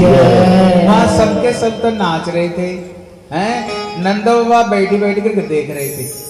जितने गोप लोग थे बोले, बाबा, तेरे घर में लाला भयो है देख, सारे ब्रजवास नाच रहे और तुम बैठी, बैठ कर देख रहे हो। अरे, आज का दिन कम से कम नाच लो तो। नंद बाबा को पकड़ कर घिसट कर ले आए और नंद बाबा का आँगन राजा का है ना, बहुत बड़ा आँगन है। जिसमें दूध दही इतने लाए थे, लग रहा था जैसे कोई खीर समुद्र प्रकट हो गया। नंद बाबा देखने में बड़े लंबे चौड़े थे, कमर में फेटे बाँध कर रखे थे। देखो, ध्यान देकर सुनो, बड़े सुंदर वर्णना करते हैं। जो फेटे के एक तरफ़ में नंदगांव की गोप, दूसरे तरफ़ में बरसाना की गोप दोनों तरफ़ में पकड़े हुए। और बीच में ले आए। ऐसे लग रहा था, मानो ये खीर समुद्र मंथन होने जा रहा है। हैं? कल आप लोगों ने सुना था, लवण समुद्र मंथन हुई थी, जिसको देवता दैत्य मिलकर के किया था। देवता रजगुणी, दैत्य तमोगुणी। लेकिन यहाँ पर दोनों ब्रजवासी, नंदगांव ब्रजवास, कहते ये दोनों निर्गुण हैं। कल जो समुद्र मंथन सुना था, वहाँ से निकला था बीस। जिसको शंकर जी पान किए तो उनका नाम पड़ गया नीलकंठ महादेव। बोले श्री नीलकंठ महादेव की उनका नाम नीलकंठ नाम पड़ गया लेकिन यहाँ पर सबसे पहले कौन निकले बोले नंदस्तु आत्मद जाता लाद मावना यहाँ पर स्वयं आनंद कंद कृष्ण सबसे पहले प्रकट हुए और कल जो समुद्र मंथन देख सुना था उसमें चौदह रत्न निकला था जिसमें चौदह रत्न निकला यहाँ सुखदेव कहते हैं परीक्षित जब कृष्ण जन्म हुए हैं नंद बाबा इतने सोने चांदी की उन्होंने बौछार की। ब्राह्मण लोग तो गठिली बाँध बाँध कर नहीं ले पा रहे थे। ये गठिली के कोने से गिरते गिरते गिरते गिरते जा रहा था। अली गलियों में हीरे जवाहरात बिखर रहा था। इसलिए सुखदेव गोस्वामी कहते हैं, रमा क्रीडन अभूत नृप। हे परीक्षित ऐसे लग रहा था रमा मतलब लक्ष्मी। ये गली, गलियों में मानो लक्ष्मी नाच रही बोले, क्यों? बोले, मेरे प्रभु जन्म हुए ना। मेरे प्रभु जन्म हुए इतने उन्होंने दान पुण्य उन्होंने किया। नंद बाबा तो जो कुछ था, सब कुछ निकाल करके सारे ब्राह्मण को उन्होंने प्रदान कर दी। और वहाँ पर स्वयं भोले बाबा भी आए थे। तैतीस करोड़ देवता आए थे प्रभु का नंद महोत्सव महोत्सव में। अभी नंद बाबा दान किया था, बीस लाख गैया। सोने को सींग में मड़वा करके, खोर को चाँद में मड़वा करके, शंकर तो चक्र में पड़ गए। बोले, क्यों? आप लोग बताओ तो शंकर जी का वाहन कौन है? बोलो, शंकर जी का वाहन कौन है? नंदी, ये भी बैल है। और नंद बाबा, कितना गैया दान किया? बीस लाख। इतने गैया इतने गैया दान दे तो शंकर तो डर गए। बोले, क्यों? बोले भैया मेरे नंदी को अगर गैया मान करके दान में दे देंगे ना, भैया, फिर मैं चढ़ कर किसमें जाऊँगा। मेरा तो बहाना चला जाएगा। इसलिए शंकर जी नंदी को पूछ को पकड़ कर खड़े हो गए। मेरे नंदी दान में नहीं चली जाए। वहाँ पर माँ पार्वती भी आई थी। पार्वती की दो बेटे हैं। बताओ तो पार्वती के दो बेटे कौन कौन कार्तिकेय गणेश। गणेश जी का सर कैसे? हाथी जैसे। हाँ वो गजानन है। अभी मैया पार्वती डर गई। बोले, क्यों? बोले, हाथी, घोड़ा पहल की जय कन्हैया जय कन्हैया, लाल की। बोले, इतने हाथी, घोड़े दान दिए। पार्वती सोच रही है, भैया, भूल से अगर मेरे गजानन को हाथी मान करके दान दे देंगे तो मेरे लाला ही चला जाएगा। उन्होंने तो गजानन को गोद में उठा करके चुपका कर गली हो गई। मेरे लाला को दान में नहीं दे दे वहाँ पर कुबेर भी आया था। ये कुबेर कौन है? ये स्वर्ग के सारे रुपया पैसा खजाना जिसको पास में, सारे ट्रेजर जिसको पास में। वहाँ पर कुबेर भी दान को देख करके उनका सर भी नीचा हो गया। बोले, भगवान मेरे को झूठ मूठ को कुबेर क्यों बनाया? आज नंद बाबा इतने दान इतने दान दे रहे हैं। भैया, मेरे पास में भी इतने धन दौलत नहीं। फिर मैं कुबेर क्यों बन गया? वो लज्जित तो हो गए। हाँ देखो, यहाँ प्रश्न है फिर नंद बाबा इतना पैसा कहाँ से लाए? जो कुबेर जहाँ पर लज्जित तो हो जाए, पैसा लाए कहाँ से? बोले, भैया, जब कन्या जन्म हुए ना, इनकी जो स्वरूप शक्ति, लादिनी शक्ति, इनकी जो पराशक्ति श्री राधा रानी भी प्रकट हो गई। राधा रानी भी प्रकट हो गई। आप लोग रामायण सुने होंगे? रामायण सुने? जिस समय अयोध्या से बर यात्री आई, जनकपुरी में, जब जनकपुरी के लोग अयोध्या में जनकपुरी में प्रवेश किया, अयोध्या की बर यात्री देखा जो गाँव के जो बाहर व्यक्ति रहते हैं, देखा वो लोग सोने की लोटे लेकर जा रहे थे शौचक्रिया करने के लिए। जो ब्रूस था ना, उस सोने की, जब उनको आए जनकपुरी में, वहाँ पर उनको घोड़े हाथी के लिए कौन सा खाने का व्यवस्था थी? बोले, काजू, पेस्ता, बादाम किशमिश ये उनको खाने के लिए हाथी घोड़े के लिए। और जो बरजात्री थे, उनको खाने के लिए प्लेट बोले सोने की प्लेट सोने की कटोरी और सोने की ग्लास जैसे अभी हम लोग, हैं? खाना खाते हैं ना फाइबर का, नहीं तो प्लास्टिक का कोई प्लेट में, और उसको डस्टबिन में फेंक देते हैं। एक बार सोने की कटोरी में, थाला में ग्लास में खाओ और उसको डस्टबिन में फेंक दो। धोने का ज़रूरत नहीं। ऐसे ऐश्वर्य वहाँ पर था, जिसको देख करके अयोध्या के बरजात्री दंग रह रहे थे, बोले, बाबा रे, क्या ऐश्वर्य? सोने की प्लेट में खाओ और उसको डस्टबिन में फेंक दो। वो सोच रहे थे, भैया, कुछ उठा करके ले जाएँगे यहाँ से। बोले, भैया हम राम के, हैं बरजात्री फिर प्रभु राम की बदनामी होगा हाँ यहाँ प्रश्न है, फिर इतने धन ऐश्वर्य आया कहाँ से? कहते, वहाँ पर माँ लक्ष्मी स्वयं है। कौन है? सीता देवी। माँ सीता स्वयं लक्ष्मी स्वरूप हुई लक्ष्मी ने रिद्धि सिद्धियों का आदेश दिया। ऐसे बरजात्रियों को स्वागत किया जाए, जब तक ये दुनिया रहेगा, याद करते रहे, जनकपुरी में जनक महाराज ने क्या स्वागत किया है? क्या उनने स्वागत किया? ठीक उसी तरह यहाँ पर, जब हमारे कान्हा ने जन्म लिया, यहाँ पर स्वयं राधा रानी प्रकट हो गई। राधा रानी प्रकट होकर के, बोले, भैया, इतने दान पुण्य होना, जब तक ये दुनिया रहेगा, तब तक याद करे, मेरे प्रभु की जन्म उत्सव में नंद बाबा ने कितने दान पुण्य किया। अब हमारे जो राहुल प्रभु जी, राठी जी, ये भी ऐसे भागवत कथा हो रही ना, क्या उन्होंने भोजन बनाए सवेरे अलग, दोपहर में अलग, शाम को अलग बढ़िया बढ़िया प्रभु भी दिल खोल करके ना सब संतों की, सब भक्तों की बढ़िया बढ़िया कल जन्माष्टमी में क्या चाट मसला उन्होंने खिलाया है। हाँ इसलिए भगवान भी इनको आशीर्वाद करे, ठाकुर को उनको कृपा हो हाँ जो दिल खोल करके भागवत कथा में, हैं? हम तो दूसरे दूसरे चीज़ में खोल करके देते हैं, लेकिन प्रभु की कथा में जो दिल खोल कर करना ना, ये साधारण व्यक्ति की बात नहीं, ये बड़े दिल वालों का काम है। बोले श्री कृष्ण कन्हैया, लाल की जय। जय श्री इसलिए सबके सब नाच रहे थे, गा रहे थे, बधाई हो रही थी। अभी हमारे श्याम सुंदर प्रभु जी एक बड़े सुंदर बधाई गाएँगे। कैसे सारे ब्रजवासी कैसे नृत्य कीर्तन कर रहे हैं आप लोग भी नाचना क्योंकि भगवान के दरबार में नाचने का बड़ा पुण्य है। ठीक है? भैया वहाँ टपी होगा दो चार भगवान कृष्ण नाम की जय। जय श्री राम और ज़्यादा नहीं है कोई ताकत नहीं है? ज़्यादा कोई ताकत नहीं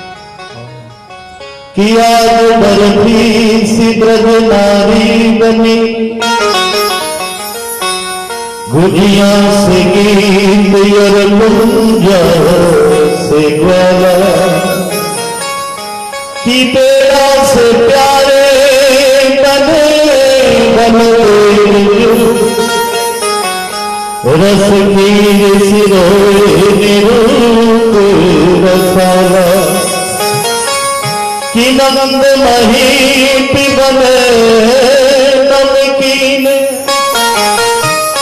गोकुल गोप सब गरम मसाला अर जाय जसोदा जल भी सिरानी रबड़ी सिरात में लड़ुआ सुलाला अरे जाय जगबी सिरानी में रबड़ी सुला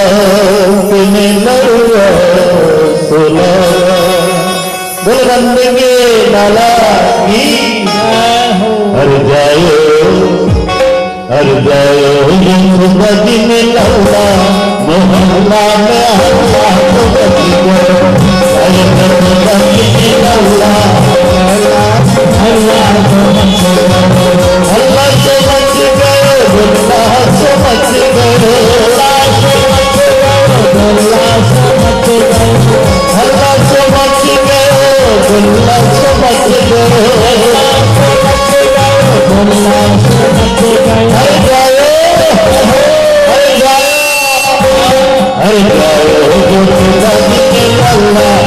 Allah, Allah, Allah, Allah,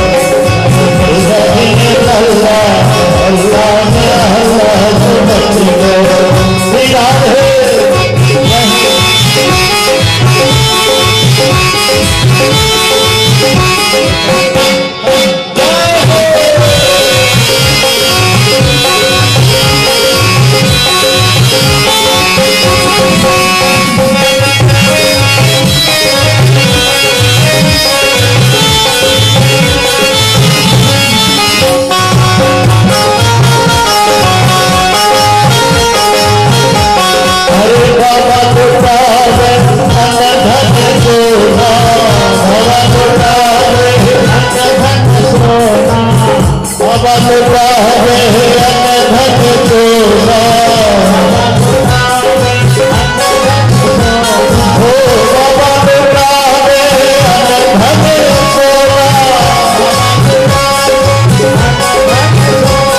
हर मैया हर मैया हर मैया अंबिका के रस गुंजा मोहल्ला का हो मस्ती हर मैया के रस गुंजा Allah, Allah, Allah, Allah,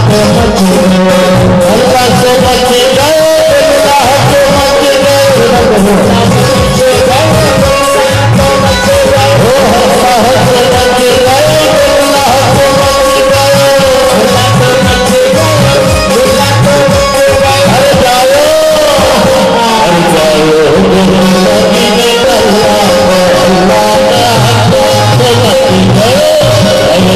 Thank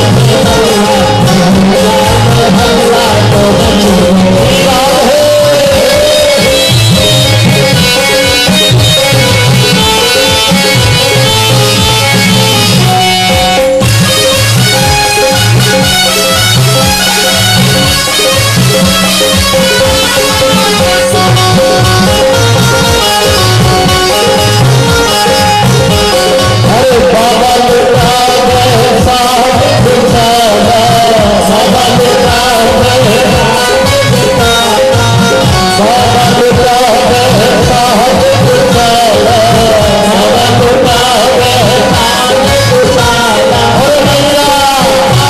हरे भैया हर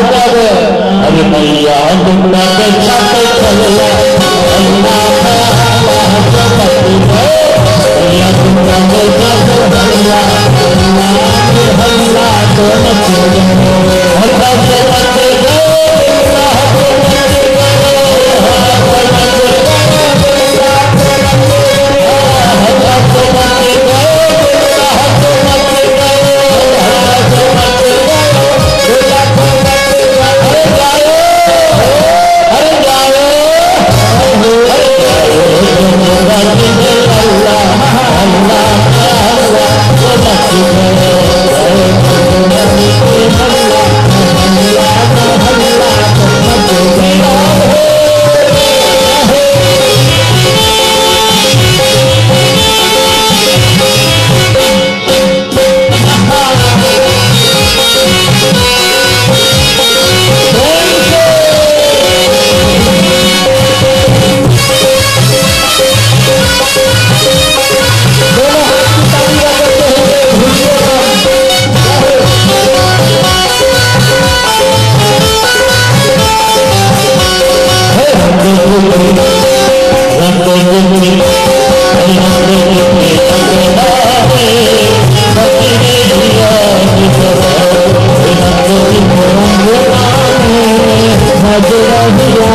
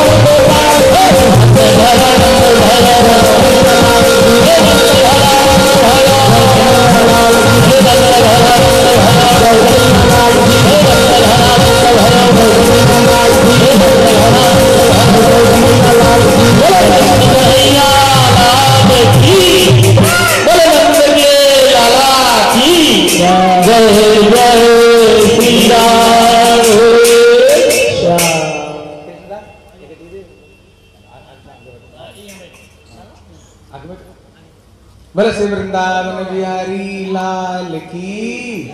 जय जय श्री राधे जय जय श्री राधे। ये बच्चा आपका आज भी थोड़ा कथा सुनाएगा। बोलो।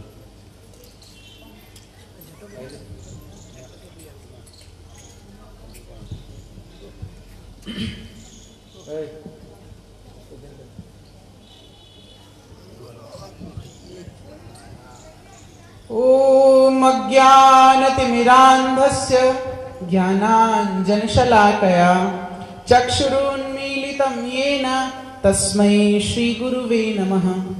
नमः पङ्कजनाभाय, नमः पङ्कजमालिने, नमः पङ्कजनेत्राय। नमस्ते पङ्कजाङ्ग्रहे।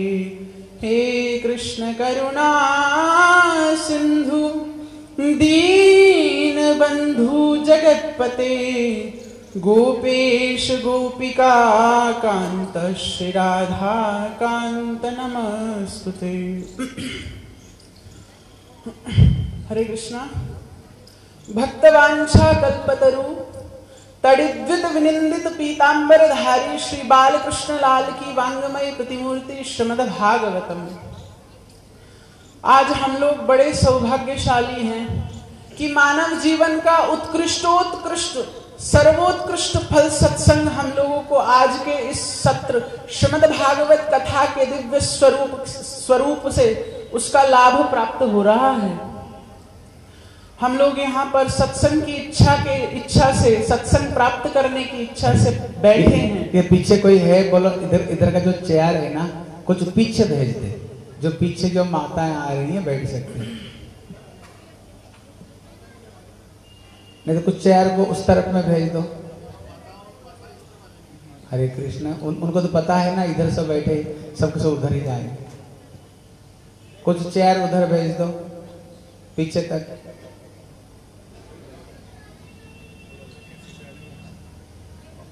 और उधर किसी व्यक्ति को खड़े कर दो, जो माताएँ आए तो उनको बोले इस तरफ़ में बैठने के लिए। कुछ लोगों को किसी को खड़े कर दीजिए किसी व्यक्ति को। और जो भाई लोग है, हो सकता अब आगे आगे आ जाए। माताएँ पीछे बैठ जाए और भाई लोग सामने बैठ जाए।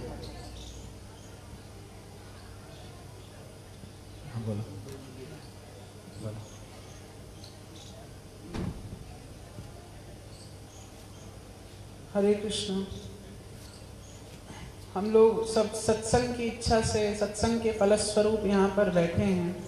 मैं सबसे पहले अपने गुरु, परम गुरुदेव पूज्यपाद भक्ति वेदांत श्री नारायण गोस्वामी महाराज के चरण कल, कमलों में दंडवत अर्पण करता हूँ। तत्पश्चात पूज्य पूज्यपाद परमाराध्य सदगुरुदेव जो इस समय व्यासासन पर व्यासासन पर बैठ करके उत्तम शोभायमान हो रहे हैं। जो हम लोगों को अपने दिव्य मुखारविंद से कथा रूपी अमृत का सहपान करा रहे हैं, श्री महाराज जी के चरणों में कोटिश वंदन करता हूँ।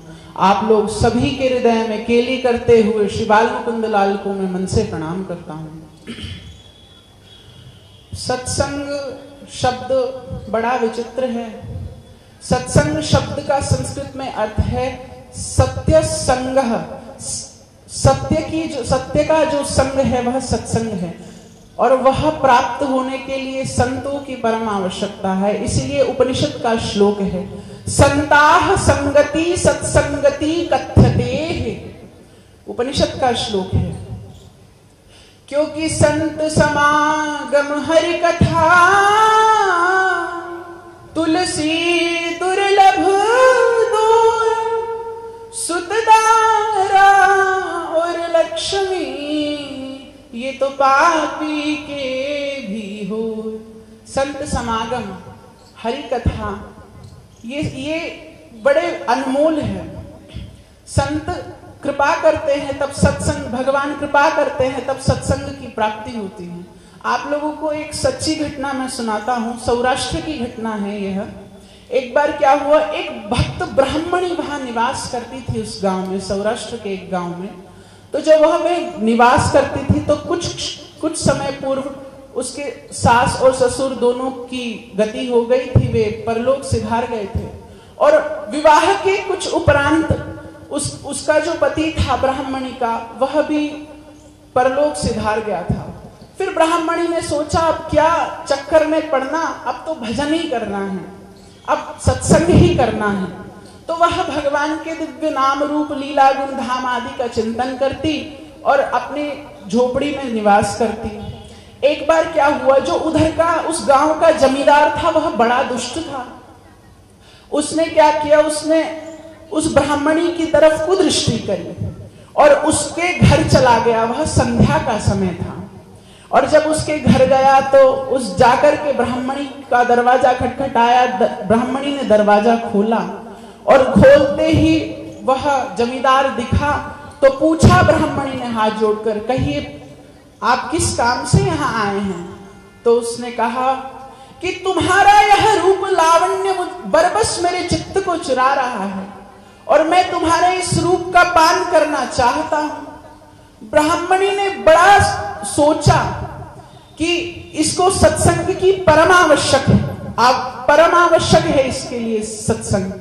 सत्संग की आवश्यकता है इसे। उसने विचार किया, क्योंकि बिनु सत्संग विवेक ना होई। जय जय सीता राम हरे, राम कृपा बिन सुलभ न सोई। जय जय राजा राम हरे। क्योंकि सत्संग के बिना व्यक्ति को विवेक की प्राप्ति नहीं होती। और विवेक की प्राप्ति नहीं होगी तो जीवन शुद्ध नहीं होगा। जीवन शुद्ध नहीं होगा तो सदाचार प्रस्तुत नहीं होगा। तो उसने कहा कि ठीक है पर आज नहीं कल आप जब भगवान अरुण भगवान सूर्य जब अस्ताचल की ओर प्रवेश कर जावे जब छिप जावे तब आप मेरे कुटिया में आ जाइएगा आ जाइएगा कल। तो उस जमींदार ने कहा बिल्कुल ठीक है अगले दिन वह आ, अगले दिन अगले दिन हुआ तो उसने ब्राह्मणी ने क्या किया कि इसको सत्संग की परिभाषा बताने के लिए उसने क्या किया? जो जमाल घूटा आता है ना, जिससे लूज मोशन लग जाते हैं, वह खूब सारा खा लिया और खूब मलक त्याग किया, खूब मलक त्याग किया उस ब्राह्मणी ने। और एक पीतल की नाद में, नाद होता है ना, वो जग हम लोग के जो यहाँ पे जग है, जैसे हम लोग सुबह सुबह तांबे का जिससे पीते हैं तो वो जग, उसके अंदर उस मल मल को एकत्रित कर लिया। और बड़ी सुंदर उसको ढक दिया, और एक एक दुपट्टे से उसको फिर ऊपर से ढक दिया। ढकते ही जैसे अब लूज मोशन होने के बाद तो व्यक्ति की हालत खराब हो जाती है। और वह बड़ी सूख गई और उसकी आँखें बाहर आ गई और बिल्कुल चेहरे पे पसीने और बिल्कुल मरणावस्था में पड़ गई।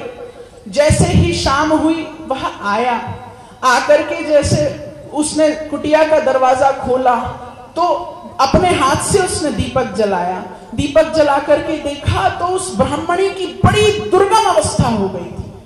वह बोला, देवी, कल जो आपका यह स्वरूप था जो मेरे बरबस चित्त को चुरा रहा था, वह वह रूप कहाँ गया? वह सौंदर्य लावण्य माधुर्य कहाँ गया? उसने कहा, बड़े कर्कश शब्द में उस ब्राह्मण ने कहा कि जो जो तुम रूप की बात कर रहे हो, वह इस नाद में रखा है, देख लो। जैसे उसने नाद का ढक्कन हटाया हटाया, देखा, बड़ी ज़ोर से दुर्गंध आ रही थी और उसको तुरंत ढक दिया। उस ब्राह्मणी से पूछा उस जमींदार ने, देवी, ये क्या है? उसने कहा जिस सौंदर्य लावण्य पे तू आकर्षित हो रहा है, वह मलमूत्र के सिवा और कुछ नहीं है। वह केवल इस शरीर के अंदर मलमूत्र है और कुछ नहीं है। जैसे ही सत्संग का, सत्संग, यह सत्संग उस व्यक्ति के कान में पड़ा, उसकी बुद्धि चकराई चकरा करके हाथ जोड़ करके ब्राह्मणी के चरणों में बैठ गए और कहा, माँ, मुझको सत्संग का उपदेश करो। तब जाकर के उसने सत्संग की पद्धति बताई। और फिर संप्रदाय अनुगत उसको संप्रदाय का, संप्रदाय के जो सत्संग का जो स्टेप बाय स्टेप जो स्टेप्स हैं, वो बताया कि तू अब सत्संग भजन कर। वही कल्याण का मार्ग है। इसीलिए सत्संग परम आवश्यक है परम आवश्यक है। सत्संग की प्राप्ति ज़रूर होनी चाहिए।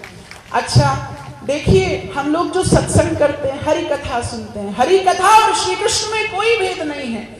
भगवान गुरुदेव के या संत के मुख से जैसे प्रवाह श्लोकों का होता है। समझ लीजिए वेणु निनाद करते हुए श्री भगवान की दिव्य वेणु स्वर हमारे कर्णपुटों में प्रवाहित हो रही है। सत्संग का लाभ, सत्संग की फलश्रुति क्या है? गीता में ही आप लोग देख लीजिए, भगवत गीता के अंदर भगवान श्री कृष्ण खड़े हैं, अर्जुन हाथ जोड़ करके चरणों में बैठे हैं और भगवान शुरू से उपदेश कर रहे हैं। कभी कभी उपदेश में जब श्री कृष्ण बिल्कुल विभोर हो जाते हैं तो उनकी कुंतल अलकावलिया, उनके केश श्री कृष्ण के कपोलों को छूते हुए भगवान के माधुर्य माधुर्य शब्दों से जो अर्जुन है, वो भी प्रवाहित हो जाए वो भी बिल्कुल संदग्ध हो जाते हैं, मोहित हो जाते हैं। कभी कभी भगवान की कभी कभी वायु के प्रभाव से श्री कृष्ण की कुंतल अलकावलिया ऐसी शोभा देती है। कभी भगवान भगवान कभी आधीन होते हैं तो कर्म योग भक्ति योग और अन्य अन्य प्रकार के योगा योग को उपदेशित करते हैं। सब कुछ कथा होने के उपरांत उसके बाद जब अंतिम बात आई तो कथा का तो जो सत्संग का, जो पूरा का पूरा ऑब्जर्वेशन है, वो बताया कि आखिरी श्लोक यही बताया, सर्वधर्मान परित्यज्य मामेकम शरणम ब्रज मेरी ही शरण में आ जा मेरी ही शरण में सभी धर्मों का परित्याग करके मात्र मेरी शरण में आ जा। माँ में कम, माँ चक्रवर्ती पाठ टीका कर रहे माँ से राधा रानी, इंदिरा लोकम मातम, माँ राधा रानी। मेरी और श्री राधा रानी की शरण में आ जा। उसके बाद अहम त्वा सर्व पापेभ्यो मैं समस्त पापों से तुझे मुक्त कर दूँगा। इसलिए भगवत शरणागति है। देखो, भगवान के जितने भी गुण हैं महाराज जी से जो आप लोग मुख से श्रवण करते हैं, जो भी है, भगवान के जितने भी गुण हैं, वे सब भगवत शरणागति में आने के लिए ही हैं।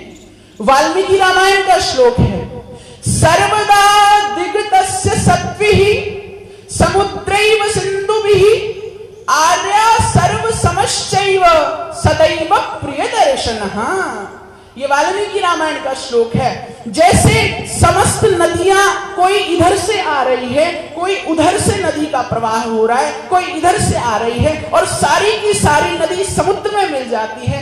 ऐसे ही कोई लावण्य गुण का, कोई भगवान की वेणुवादन गुण का बखान कर रहा है, कोई भगवान के निर्मल चरित्र का बखान कर रहा है, कोई भगवान की भक्तवत्सलता का बखान कर रहा है। वो सारे के सारे गुण काय के लिए है? भगवत शरणागति के लिए। भगवान की शरण में जाने के लिए है। श्रीमद चैतन्य महाप्रभु किस लिए आए हैं? भगवान के दिव्य नामावली का, भगवान के कथा का, भगवान के दिव्य माधुर्य का रसपान करने के लिए तो आए हैं। बक्सर वाले नाना जी हुए नारायण दास भक्त मारे जी महाराज, उनके जीवन का प्रथम ये यह प्रथम रचना है। श्रीमद चैतन्य महाप्रभु के ऊपर उन्होंने छंद जो, छंदबद्ध करके जो शब्द लिखे हैं, बहुत सुंदर। महाप्रभु की लीला पे जो उन्होंने पहला, सबसे पहला उनका जो कार्य है वो यही था। उन्होंने बड़े सुंदर शब्द लिखे श्रीमद चैतन्य महाप्रभु की लीला जब वो बखान कर रहे थे। क्या सोच रचा यह चरित चपल? क्या सोच रचा यह चरित चपल? चित चोर मुरली वाले। अरे तजी शाम वरण मन हरण भय तन गौर मुरली वाले। तजी शाम वरण मन हरण भय तन गौर मुरली वाले।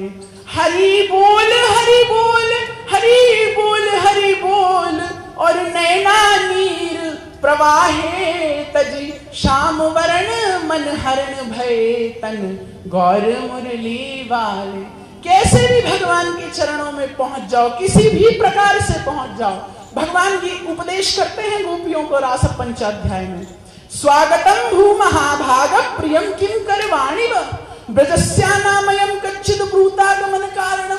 रजन्नेशा घोर रूपा घोर सत्व निषेधिता, प्रतीयादत ब्रजन्नेह स्त्रेहम श्रीभि सुमुद्यमा, मातरः पितरः पुत्रा भ्रातरः पतयश्च व विचिन्नन्तीह पश्यन्तु माकद्य बन्धु सात्वशं, दृष्टं वनं कुसुमितं राकेशकर रञ्जितं, यमुना लिल्लीलैजे तरुपल्लव शोभितं तदयामाचितं गोष्ठं शुश्रूषुन्दुं पतिं सति कृन्दन्ति वत्सा बालाश्च तान् पायि अथ दुह्यते अथवा मद्विस्नेहात् भवत्यो यन्त्रदासयात् आगता युवन्नम अप्रियै मयि जन्तव, भक्तु शुश्रूषणं स्त्रीणां परो धर्मो यमायाचित बन्धुनां च कल्याण्य प्रजानां चारुपोषणं, दुर्शीलो दुर्भगो वृद्धो जलोरोग्य धनोऽपि वा पति स्त्री निर्वहातव्यो लोकेषु भियपातकी अस्मर्गमय शस्यं च फल्मकृच्छं भयावह, जुगुप्त सर्वत्र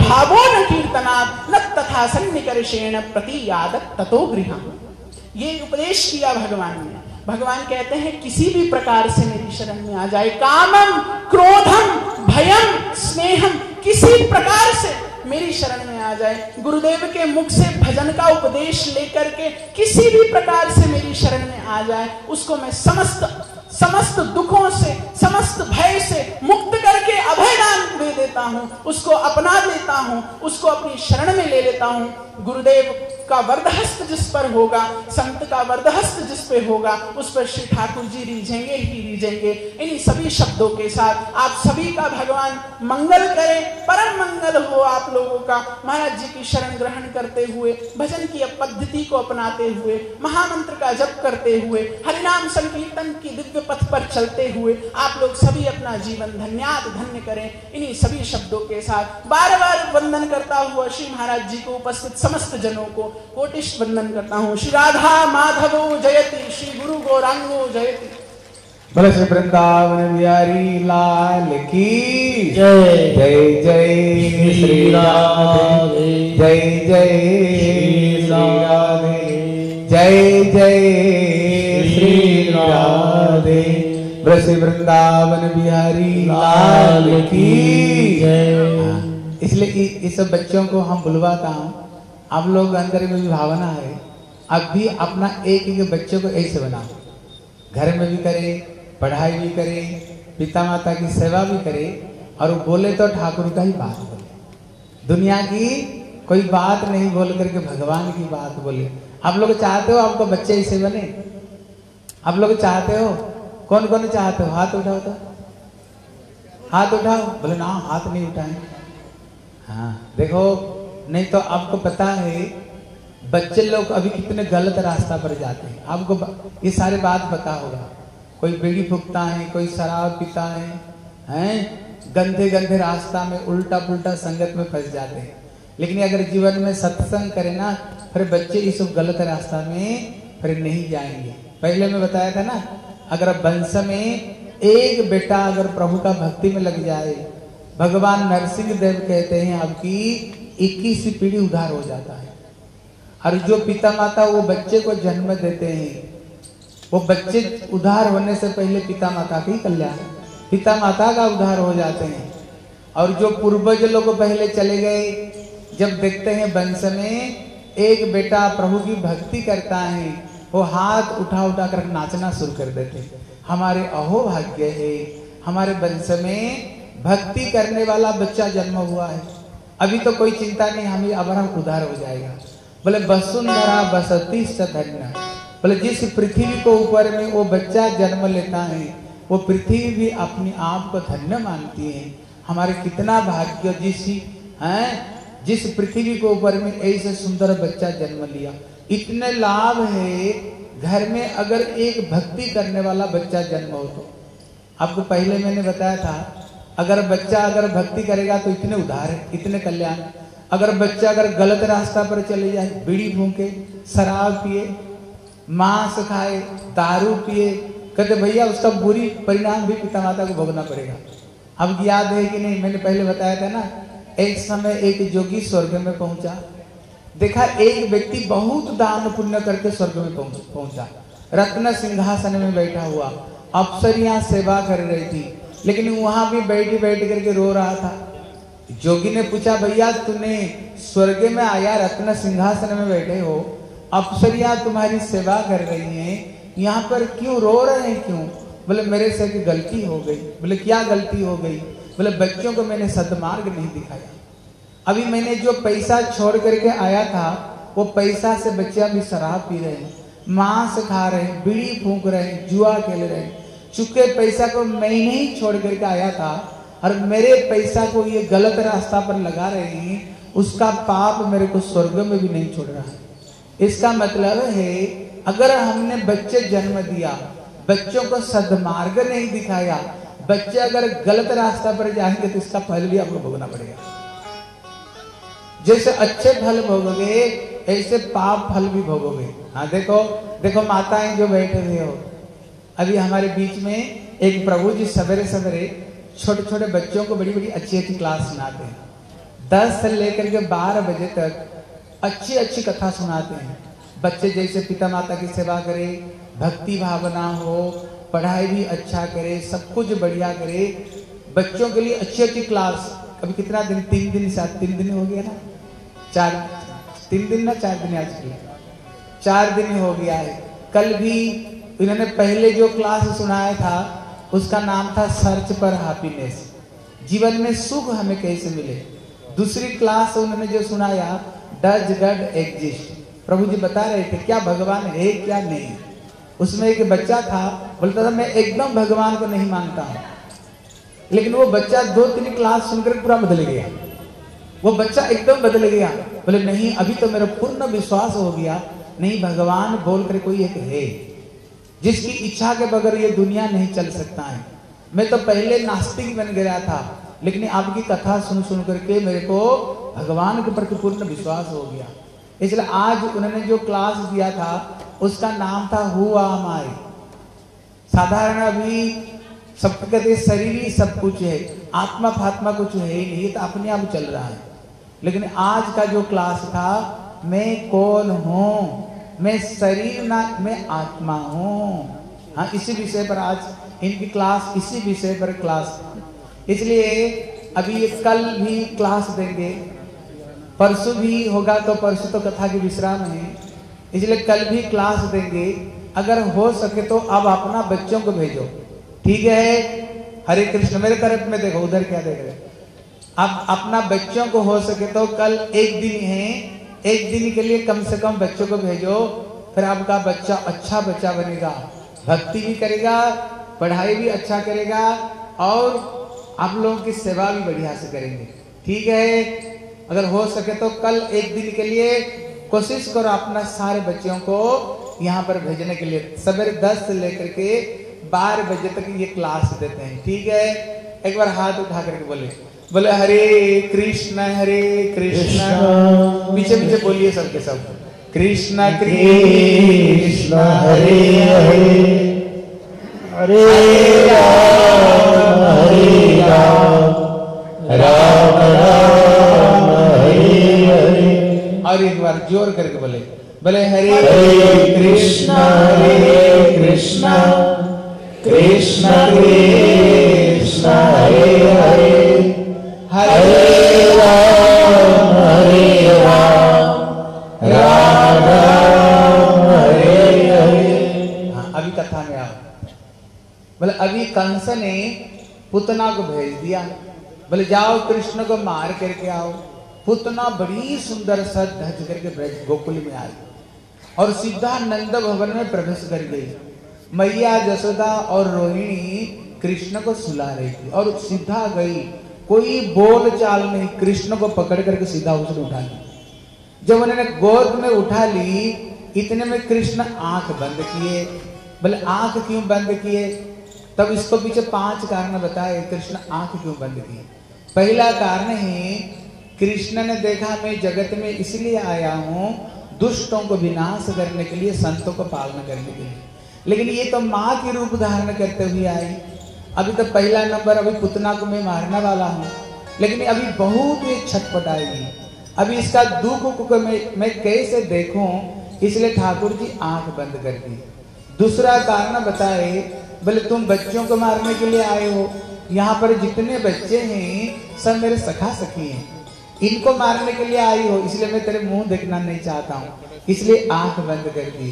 तीसरा कारण बताए, भगवान की गर्भ में अनंत कोटि विश्व ब्रह्मांड है।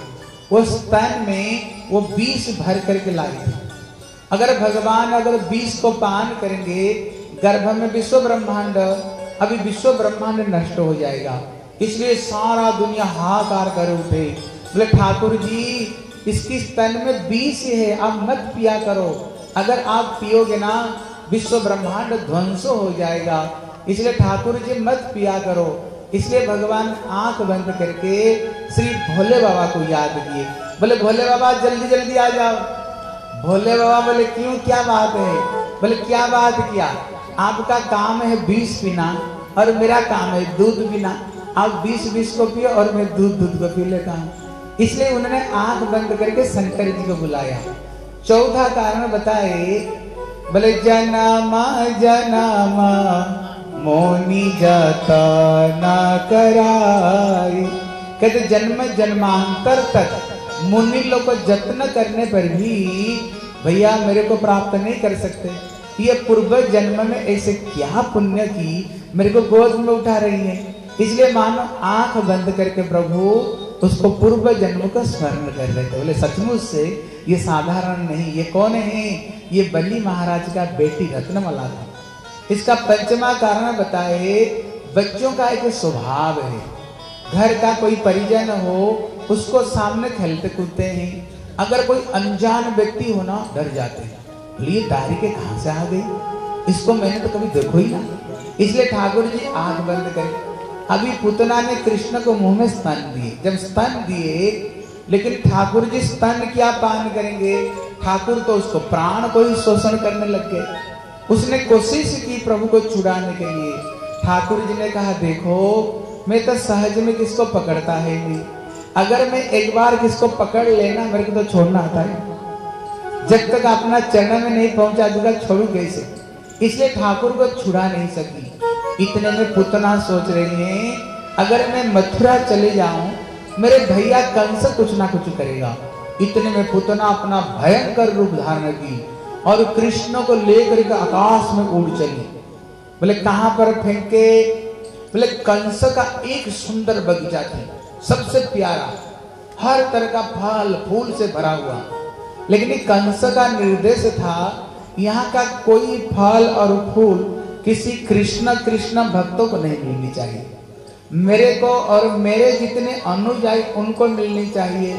कृष्ण ने कहा, भैया, दुनिया तो मैंने बनाया, दुनिया मेरा है। और मेरे को और मेरे भक्तों को नहीं मिलेगा। और ये सब दुष्ट लोगों को मिलेगा, अभी मैं दिखाता हूँ।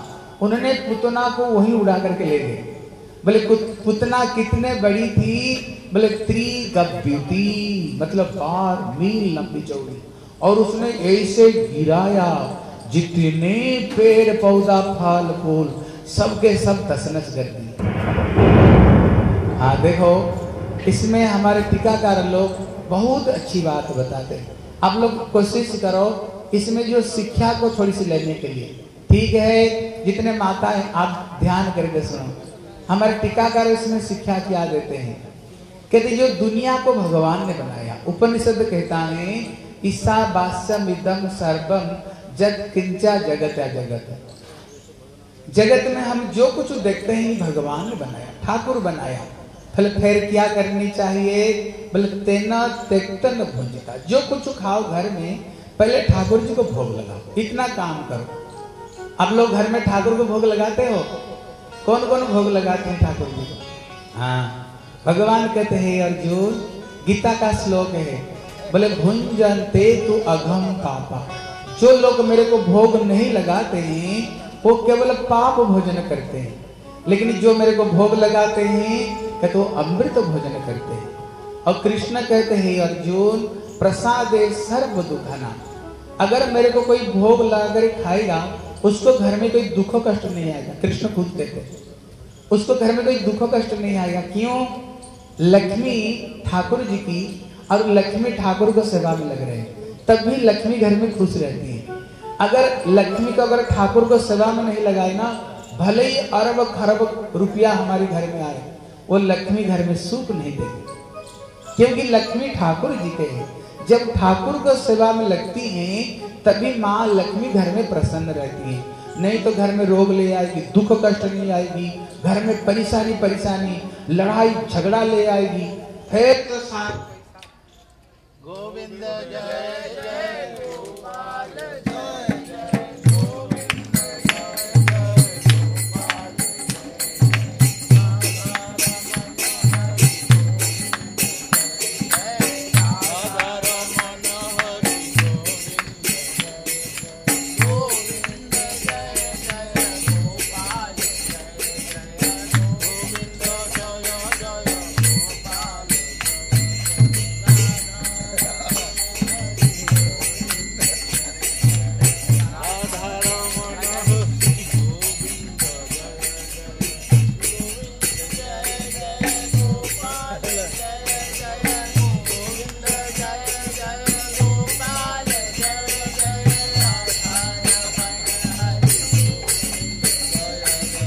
जय राधारमण हरि गोविंद जय जय।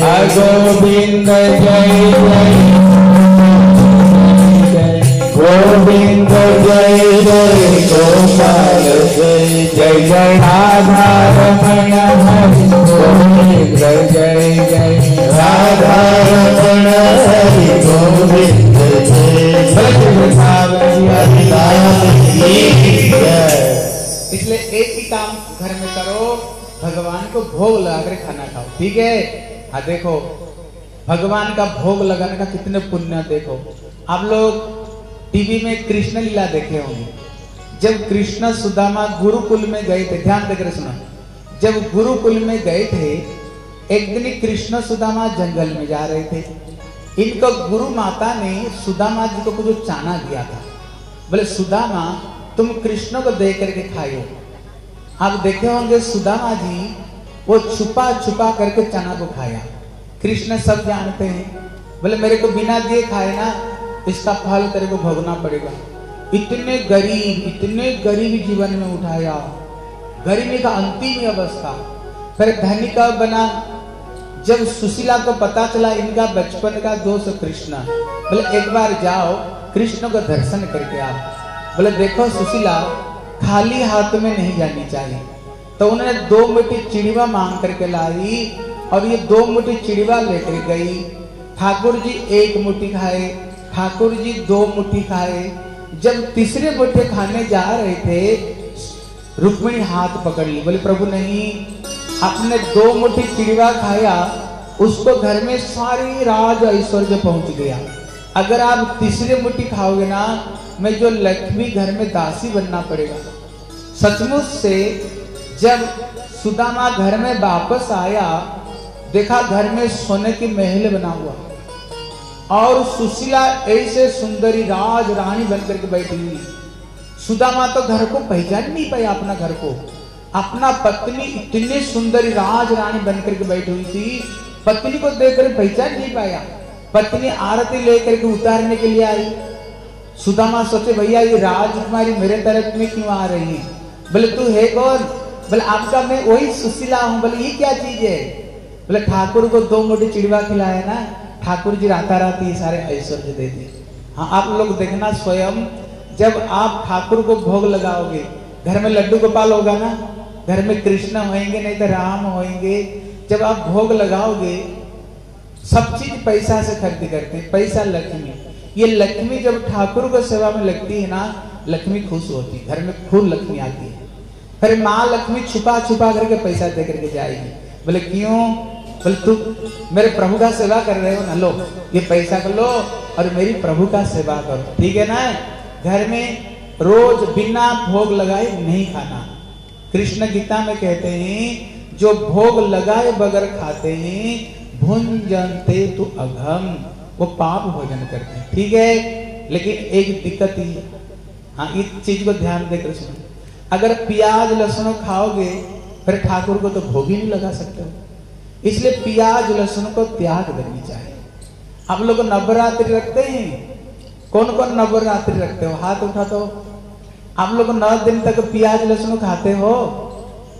क्यों नहीं खाते हो? मतलब माता जी को तो पसंद नहीं, तभी तो नहीं खा रहे ना। मैया को पसंद नहीं, तभी तो नहीं खाते हो। क्या मैया को न देने के लिए खुश रखो, फिर खा कर नाराज़ बना हाँ ये चीज़ को समझो। देखो, पुराण में दो कथा आती है। कल आप लोग श्रवण कर रहे थे, जब समुद्र मंथन से अमृत निकली, उसी समय मोहिनी ये देवता को अमृत दे रहे थे। इतने में स्वर भानु नाम के दत्य ने ये चंद्र सूर्य के बीच में बैठ गया, छुप करके। जब मोहिनी अमृत पिला रही थी इसने भी अमृत पी ली चंद्र सूर्य ठाकुर को इशारा किया, ठाकुर जी, ये दैत्य ने धोखे दे करके अमृत पिया है। भगवान चक्र को बुलाया और उसको गले काट दिया। जहाँ पर गले को काटा, जहाँ पर उसको मांस गिर पड़ा, वहीं पर ये प्याज की पौधा हुई आप देखना, जैसे मांस लाल लाल रंग के, ये प्याज भी लाल लाल रंग के। जैसे मांस सड़ जाए जैसे बदबू आती है, आप देखो, कच्चा प्याज खाओ, आपका मुँह से इतने बदबू मारेगा अब सामने किससे बात नहीं कर सकते हो। अगर प्याज यहाँ कटा जाएगा तो पता चल जाएगा कहीं प्याज कट रही है। उसका छोंक दो तो देखना चारों तरफ़ में उसका बदबू फैल जाती है। आप प्याज काटो, देखना आँखों से आँसू भी आ जाती है। इसलिए नौ दिन तक देखना कोई भी माता जी क्यों नौ दिन तक नहीं खाते हैं? क्योंकि माता देवी को पसंद नहीं है। तभी तो नहीं खाते हैं ना? तभी तो नहीं खाते हो नौ दिन तक? मैया को पसंद क्यों नहीं? बोले, इसका जो सृष्टि है, वो तामस की वस्तु से सृष्टि हुई है। इसलिए आप लोग अपना घर में देख लो, हिंदू लोग। एक पीढ़ी पहले तुम्हारी घर में देखना, ये चीज़ तुम्हारी घर में आता नहीं होगा। आपका किसी हिंदू घर में पहले ये प्याज, लहसुन लहसुन कैसे बना? जहाँ पर हाडी गिर पड़ा, वहीं पर ये लहसुन की पौधा हुई। मसूर की दाल जहाँ पर खून का बूंद गिरा, आप देखना मसूर डाल का आकृति वैसे। आप लोग को पता होगा, पहले ये तीन चीज़ को पाप मानते थे, इसलिए घर में नहीं घुसाया करते थे। आप अपना घर में ही देखो, एक पीढ़ी पहले तुम देख लेना, किसी हिंदू घर में ये चीज़ नहीं घुसता था। वृंदावन की चौरासी क्रोश में ये वस्तु वर्जित था। यहाँ पर चौरासी क्रोश में ये चीज़ को कोई नहीं खाते थे क्यों? पहले हर हिंदू ठाकुर जी को भोग लगा कर खाते थे, ठाकुर को सेवा पूजा करते थे, कोई नहीं खाते थे। दूसरी कथा आती है, पहले ऋषि लोग अपना गैया, अपना आश्रम में गैया पालते थे। लेकिन गौ माता है, इसलिए गैया को मरने नहीं देते थे। कोई गैया अगर बूढ़ी हो जाती थी, यज्ञ की अनुष्ठान करते थे, और उसमें यज्ञ में गैया को बलिदान देते थे मांस सबका हाथ में दे देते थे। लेकिन इतने मंत्र शक्ति होता था, जब ये संत लोग को मंत्र पढ़ते थे, गैया फिर जवानी बन करके निकलता था। एक समय कोई गैया बूढ़ी हो गई, यज्ञ की अनुष्ठान की, गैया को बलिदान दिया सभी को हाथ में मांस दे दिया। बोले, सबके सब आहुति डालना हर तरह के व्यक्ति होते हैं। किसी ने मांस खाने का लोभ से उसने छुपा दिया। सबके सब आहुति डाले। ऋषि ने मंत्र पाठ किया, गैया ने फिर जवानी बन करके प्रकट हुई। लेकिन जिस अंग का मांस को उसने छुपाया था, देखा इतना बड़ा घास शरीर में ऋषि तो त्रिकाल दृष्टा थे, वो साधारण थे नहीं। ध्यान लगाया, कैसे कैसे हो गया?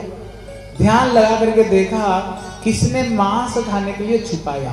फिर उन्होंने अभिशाप दिया है। बोले, जहाँ पर माँ, मांस को काट दिया वहाँ पर प्याज की पौधा होगी जहाँ पर हड्डी गाड़ दिया लहसुन पैदा होगी और जहाँ पर खून का बूंद गिरा, वहाँ पर मसूर दाल बने। इसलिए ये चीज़ कोई पहले हिंदी में, कोई हिंदी भाषी, है, हमारा कोई कोई घर में नहीं घुसाए करते थे, उसको पाप मानते थे।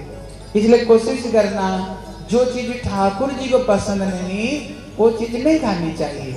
और जो चीज़ ठाकुर का पसंद, वही चीज़ खाओ। आप लोग बोलोगे, भैया, स्वाद नहीं आता है। बगैर प्याज के भी तो स्वाद नहीं आता है, हैं? हम लोग बोलते, स्वाद नहीं आता। देखो, स्वाद नहीं। आप देखना, दाल बनाओ, दाल का एक असली स्वाद है। आप देखो, कोई भी सब्ज़ी बनाओ, कोई भी सब्ज़ी बनाओ, उसका एक टेस्ट है। लेकिन जब उसमें प्याज, लहसुन डाल दिया, सारे टेस्ट खत्म। उसमें दो गुंडे आ जाते हैं। एक प्याज और लहसुन, ये दो गुंडे आ गए। बोले, खत्म, भागो यहाँ से। तुम्हारी कोई टेस्ट नहीं है। अभी टेस्ट हमारी है। प्याज लहसुन का टेस्ट आ जाता है। जैसे अभी, जैसे ही भागवत में खाना बन रही है, कितने सुंदर सुंदर प्याज लहसुन के खाना बनाते हैं। अच्छे बन रहे कि नहीं? जो खाते हो। तो उसमें टेस्ट है कि नहीं? और विशेष करके जब ठाकुर को भोग लग जाएगा ना, उसमें तो और भी स्वाद आ जाएगा। देखो, ध्यान देकर सुनो। घर में रोज प्याज लहसुन बनती है, उसको खाना खाते हो। देखना, घर में जब कोई तिथि पर्व आ जाए, जिस दिन घर में ठाकुर जी को भोग लग कर खाना खाते हैं, देखना उसमें एक अलग स्वाद आता है। आता कि नहीं बोलो? आता कि नहीं? क्यों? चूँकि ठाकुर को भोग लगाया ठाकुर जी की भोग लग गया। इसलिए जब ठाकुर जी को भोग लगा कर खाओगे ना, उसमें एक अलग स्वाद है। लेकिन प्याज, लहसुन हम खा खा करके ना, हमारा आदतों को हमने बिगाड़ चुके हमने बिगाड़ चुके अपना आदतों को। इसलिए कहते हैं, स्वाद नहीं आता। आप कुछ दिन बगैर प्याज लहसुन के खाओ। जहाँ पर ये रसोई बनेगी, आप खड़े भी नहीं हो सकते। इतने बदबू उसमें मारती हैं। लेकिन खा खा करके आदत हमारी बन गई। इसलिए कोशिश करना धीरे धीरे जैसे शुद्ध रूप में बनाओ, ठाकुर जी को भोग लगे, भगवान की प्रसाद खाओ। देखना, वो घर में इतने शांति, इतने सुख, घर में इतने आनंद आएगा। क्यों? ठाकुर का प्रसाद को खाएँगे। ठाकुर जी की प्रसाद मतलब ठाकुर का आशीर्वाद। ठाकुर जी की आशीर्वाद है। इतना काम आप लोग करना ठीक है? बोले श्री वृंदावन बिहारी लाल की जय जय श्री राधे। जय जय श्री राधे। जय जय श्री राधे। हाँ, राम लक्ष्मण सीता बना दिया है। बना कि नहीं राम लक्ष्मण सीता? उनको ले आना ठीक है, अभी मैं मैं जब बोलूँगा उसको यहाँ पर ले आओ।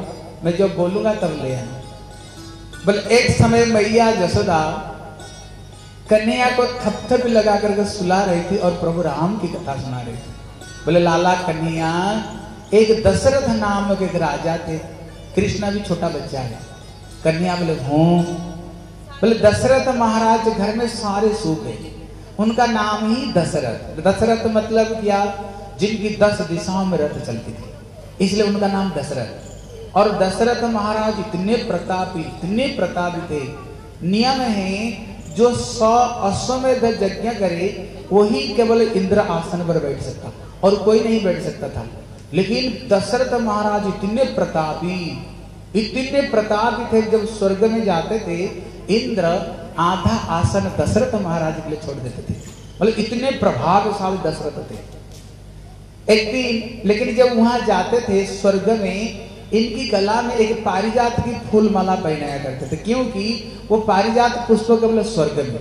और वो फूल कभी नहीं मुरझाता है। अद्भुत फूल है। जब दशरथ महाराज स्वर्ग से आते थे, वो गले में ये फूल की माला पहन करके आते थे। और वो कैसल्या कई कई सुमित्रा को बोलते थे, देखो, मैं स्वर्ग में आ रहा हूँ। देखो, ये फूल माला इंद्र ने पहनाया। और पत्नियाँ बड़ी खुश होती थी। एक दिन क्या हुआ? दशरथ महाराज स्वर्ग में गए। इंद्र की आधा आसन पर बैठे। इनकी गले में सुंदर फूलों की माला पहना जैसे होता है ना, गले में माला पहनाने के बाद फिर उतार करके हम रख लेते हैं। दशरथ महाराज पास में रख लिया था।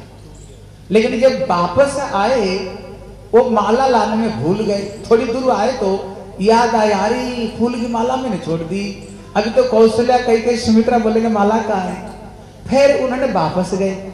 लेकिन जब वापस गए, देखा जिस सिंहासन में ये बैठे हुए थे, वो सिंहासन को धुलाई कर रहे थे। दशरथ महाराज बोले, भैया, इस स्थान को धुलाई क्यों कर रहे हो? बोले, महाराज जी आप दुखी मत हो। इसलिए धुलाई कर रहे हैं, आपकी संतान ही नहीं है ना? घर में आपकी संतान नहीं है ना? आप यहाँ पर बैठे थे, ये स्थान अपवित्र हो गया था। दशरथ महाराज, इतने दुखी इतने दुखी हुए बोले, हे भगवान, मेरा नाम दशरथ। दस दिशाओं में मेरा रथ चलता है। दस दिशाओं, जिसने पूरा अपना अधीन किया। स्वर्ग की आधा आसन पर बैठता हूँ, लेकिन घर में संतान ही है। और जिस रत्न सिंहासन में बैठे गया, वो स्थान अपवित्र हो गया, उसको धुलाई कर गए इनकी मन में इतने व्यथा इतने व्यथा लगी, वापस आए। इन्होंने ऋषि सिंह मुनि को बुलाए बोले पुत्रष्टि यज्ञ करा वशिष्ठ जी को बुलाए फिर उन्होंने पुत्रष्टि यज्ञ करवाया। यज्ञ से खीर बने, निकली और खीर को उन्होंने कौशल्या कई कई सुमित्रा तीन रानी को खिलाया और उपयुक्त समय होने पर भगवान स्वयं चतुर्व्यूह रूप में प्रकट हुए राम, लक्ष्मण, भरत और शत्रुघ्न। बोले, श्री राम लाला की प्रभु। कृष्ण जन्म बोले श्री सियावर रामचंद्र की बोले श्री राम लाला की की इसलिए जिस समय भगवान राम जन्म हुए अयोध्या में बड़ी धूमधाम से अयोध्या में वहाँ पर उत्सव होता है। प्रभु जी अभी इसका भजन गाएँगे। बोलो सियावर रामचंद्र की जय हो। जय जय श्री राम। उभय प्रकट कृपा दीन दया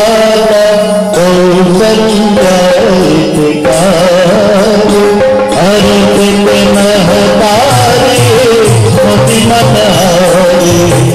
अद्भुत रोग विचारी समयत रामा वीर समाना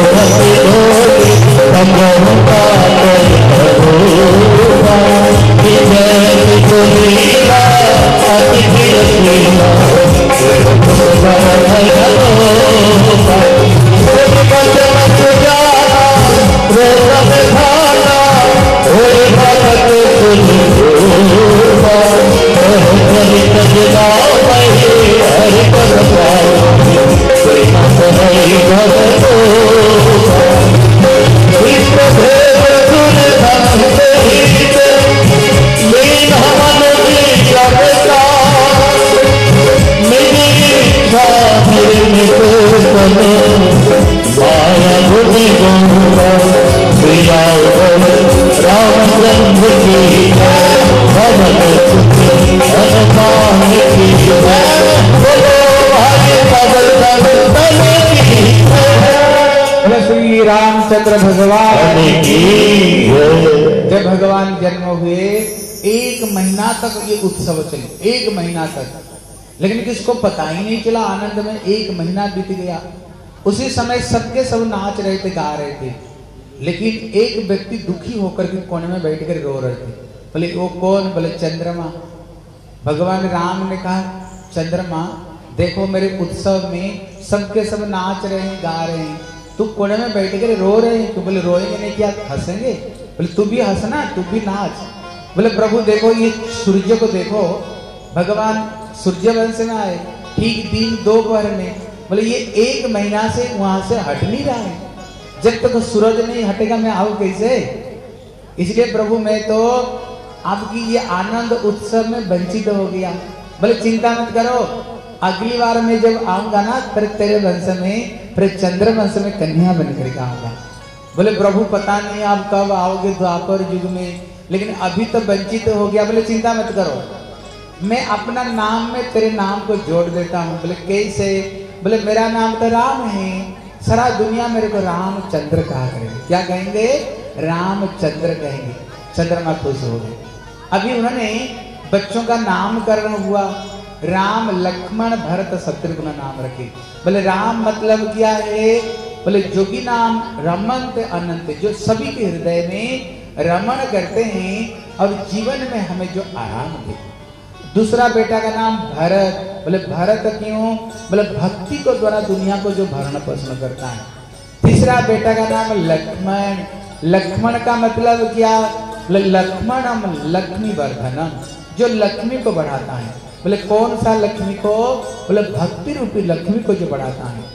चौथा बेटा का नाम है शत्रुघ्न। जो शत्रु को ऊपर जो विजय प्राप्त करता है। अभी जब धीरे धीरे बच्चे बड़े हुए, चार भाइयों को गुरुकुल में भेजा गया।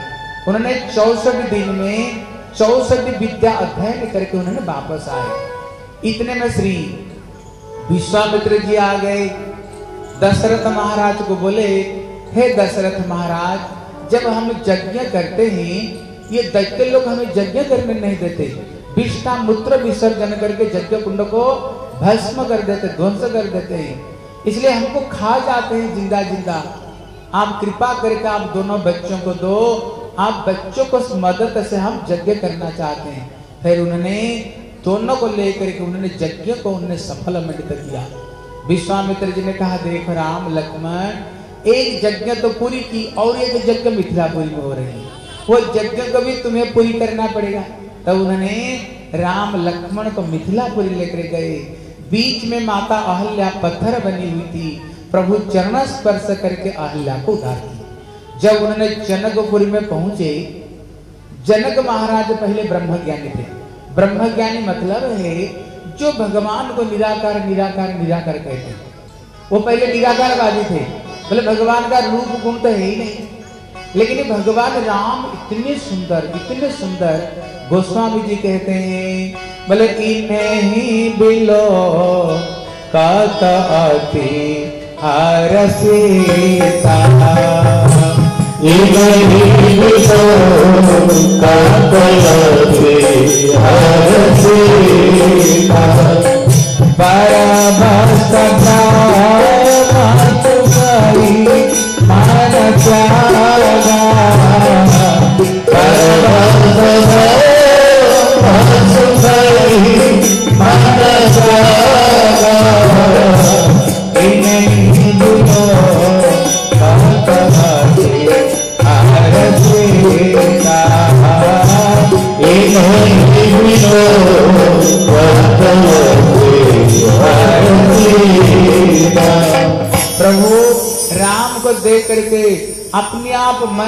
ब्रह्म सुख था खत्म हो गया।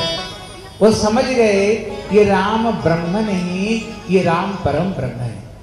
लेकिन इन्होंने उनका जो प्रतिज्ञा थी, वो जो धनुष को जो उठा लेगा, जो धी सील धनुष को जो उठा करके उसमें प्रत्यंचा चढ़ा देगा, उसको साथ में मेरी बेटी जानकी की शादी होगी। बोले, उन्होंने ऐसे प्रतिज्ञा क्यों की थी? बोले, कारण है, वो धनुष इतना बड़ा था जिसको चालीस सौ व्यक्ति उठाकर ले जाते थे। इतने बड़ी धनुष एक दिन मैया सीता गेंद खेल रही थी।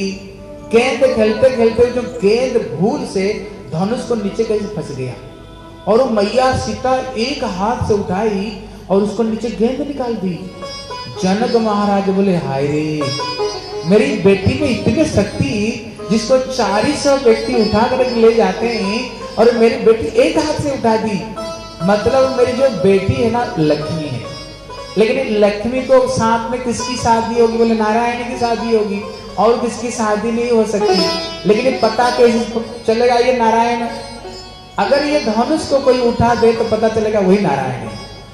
लेकिन जब भगवान राम, जब मिथिलापुरी में आए, जनक महाराज जब राम रूप को देखते ही, वो अपने आप भूल गए ब्रह्म को।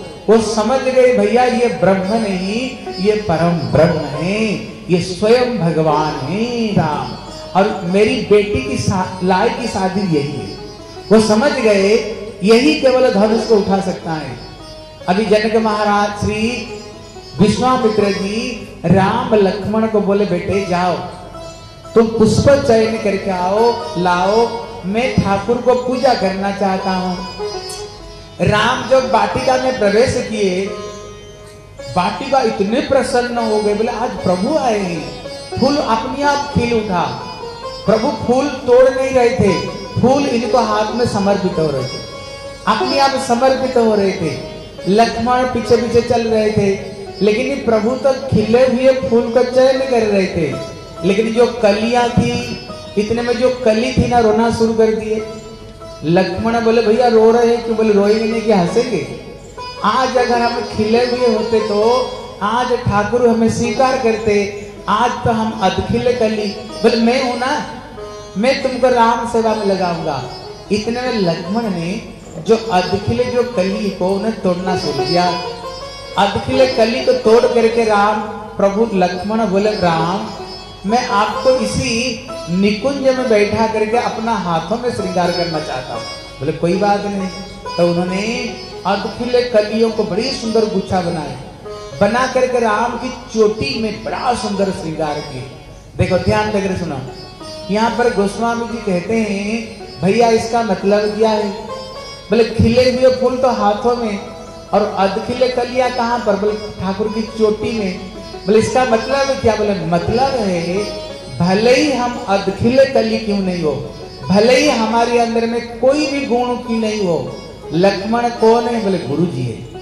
अगर कि सदगुरु की शरण में अगर आ जाए ना, अधखिले कली होने पर भी हमें ठाकुर जी को सेवा में लगा देंगे।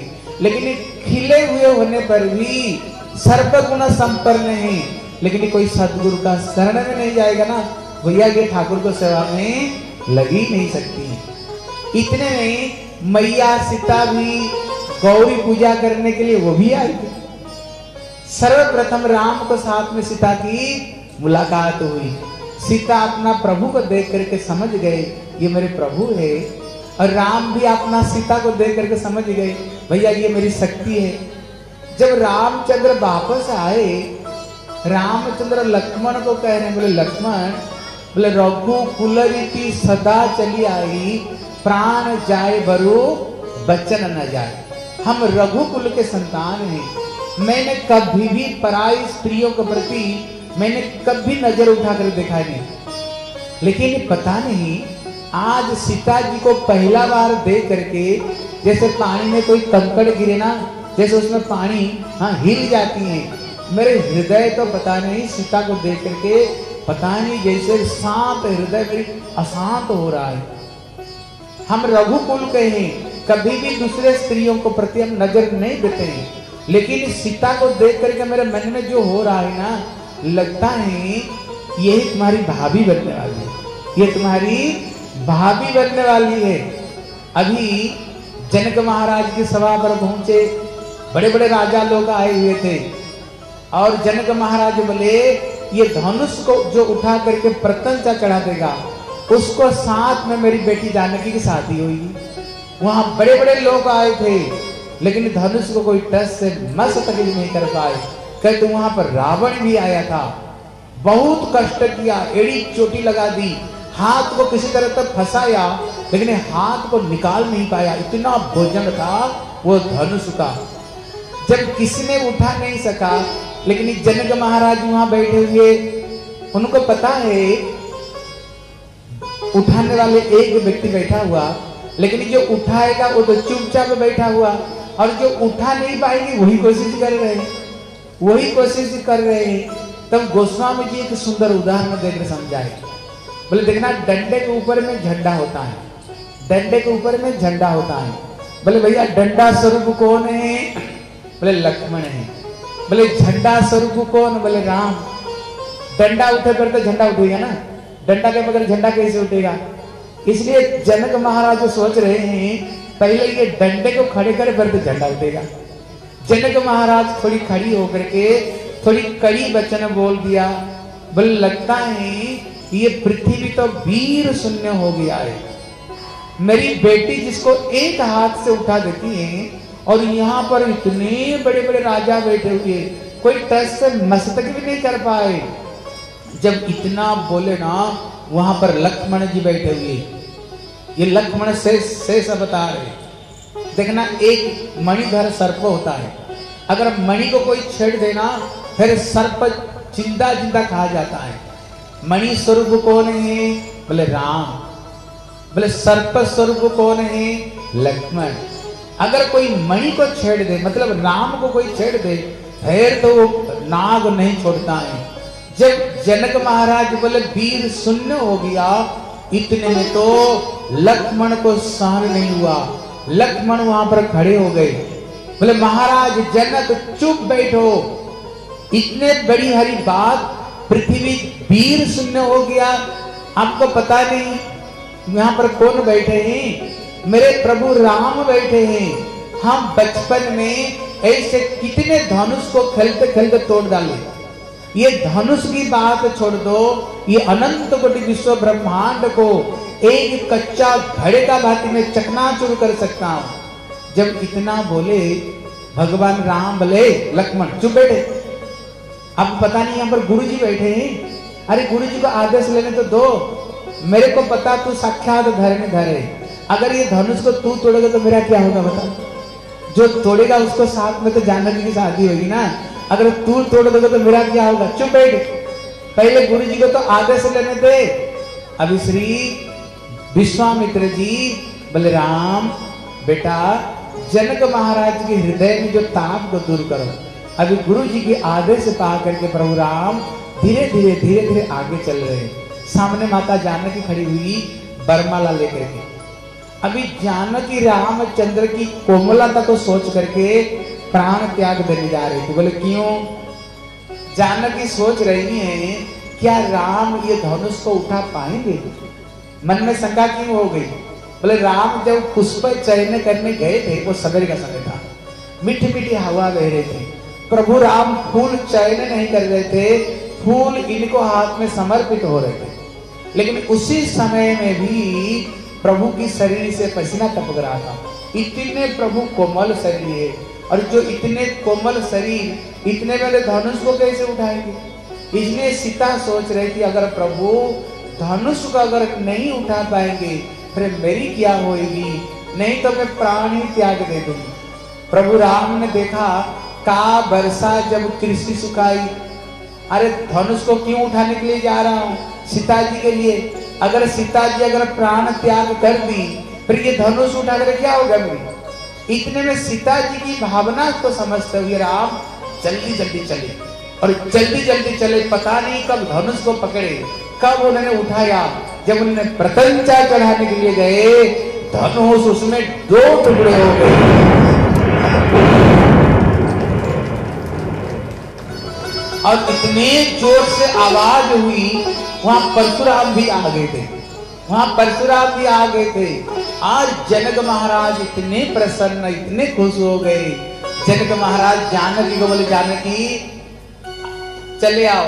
अभी सुन है ना जानकी को लेकर के ला रही हैं।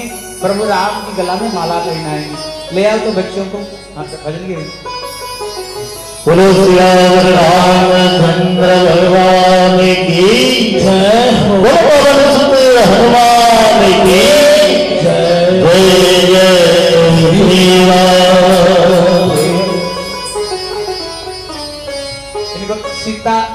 हाथ में तो माला दे दो यहाँ से माला ले लो।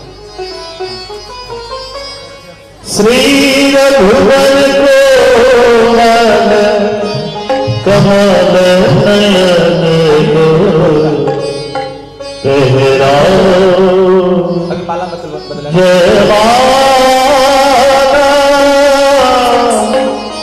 श्री रघुवर कोमल कमल नयन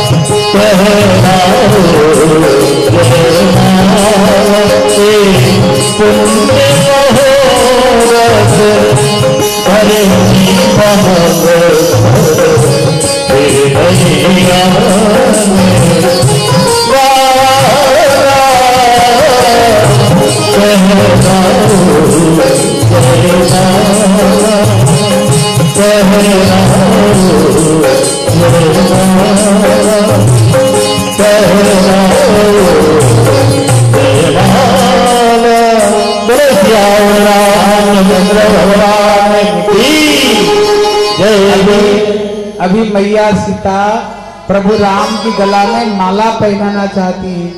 लेकिन ये प्रभु राम थोड़ी ऊँचे हैं और मैया सीता थोड़ी सी छोटी कंधे तक जब हाथ बढ़ाती हैं, वो हाथ ही नहीं पहुँच रहा है। इतने में राम जी का जो सहेलियाँ थी, इतने में राम की कान में चुपकी सी बोली, बोले, राम, थोड़ी सी सर झुका दो ना। बोले, क्या मैं दशरथ महाराज का बेटा हूँ। अभी शादी भी नहीं भई बोले, सर झुका दो। भैया, हम तो सर नहीं झुका सकते हैं। क्यों? रघुकुल रीति सदा चली आई। प्राण जाए बरु बचन जाए। मैं दशरथ महाराज का बेटा हूँ। मैं सर नहीं झुका सकता हूँ। इतने में राम ने लक्ष्मण के इशारा की बोले, लक्ष्मण, बेटा तू कुछ कर। बोले, मैं क्या करूँ? बोले, तू पृथ्वी है ना? तू धरणी धर हो।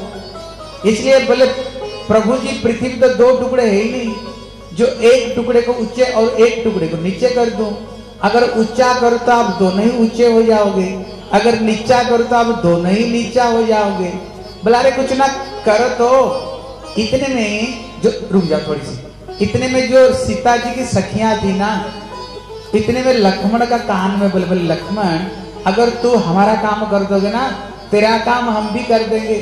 लक्ष्मण बोले, क्या काम है? बोले, देखो, ये सीता देखने में जितने सुंदरी इनकी एक छोटी बहनी उसका नाम उर्मिला, वो कम सुंदरी नहीं।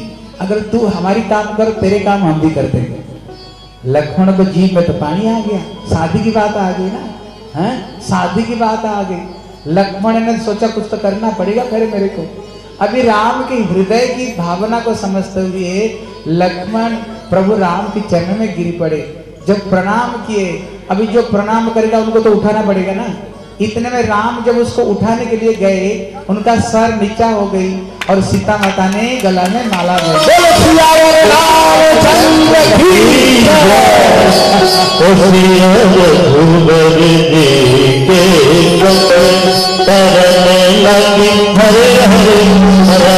लगी सिया हरण लगी हरे हरे सिया रघुवति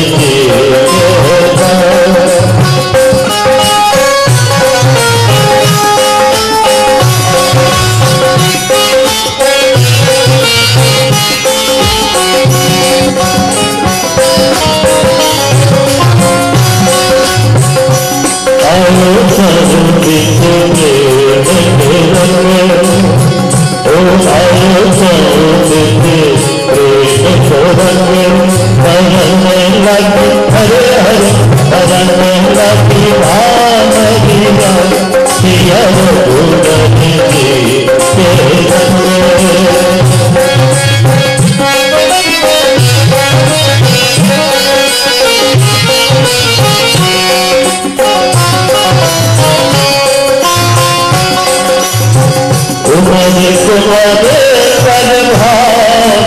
दे नयन लाभ सदर पद में जो जाई न मन मोहन जोगी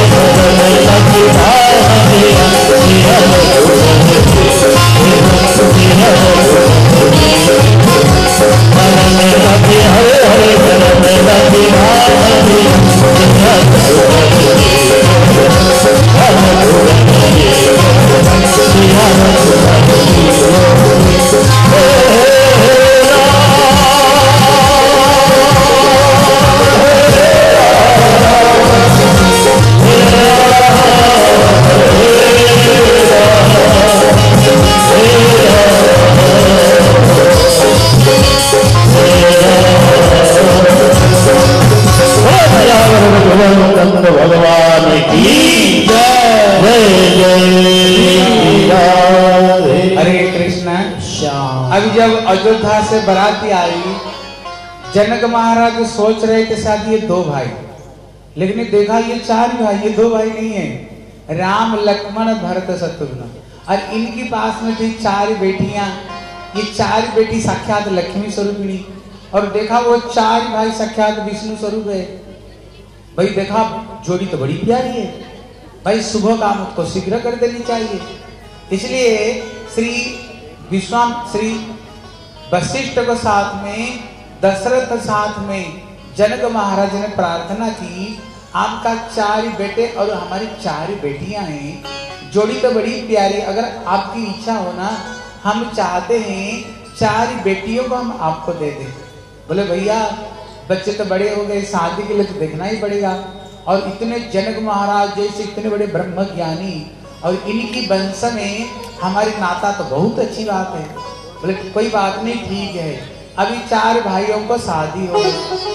जब शादी हो गई, पहले नियम तो नहीं था, शादी से पहले मिले, ये तो नियम था ही नहीं। लेकिन अभी किसको पता नहीं, इसमें उर्मिला कौन सुतकीर्ति कौन, मांडवी कौन और सीता कौन, किसको पता ही नहीं। चार दिन को बाद में मिथिला की जो सीता जी की सखियाँ थी, चार ही बहुओं को बड़ी सुंदर सजा धजा करके घूंघट लगा करके ले आए। बोले, राम, लक्ष्मण भरत शत्रुघ्न तुम चार ही भाई हो, ये तुम्हारी चार ही बहु है। अपनी अपनी बहुओं को छांट लो। बोले, राम सावधान, छोटे भाई का जो पत्नी है, वो बेटी सदृश है। अगर अपना पत्नी को पत्नी नहीं बोल करके अगर छोटे भाई की पत्नी की पत्नी बोल दिया मतलब बेटी को अपना पत्नी बनाना, कितना पाप, आपको पता होगा।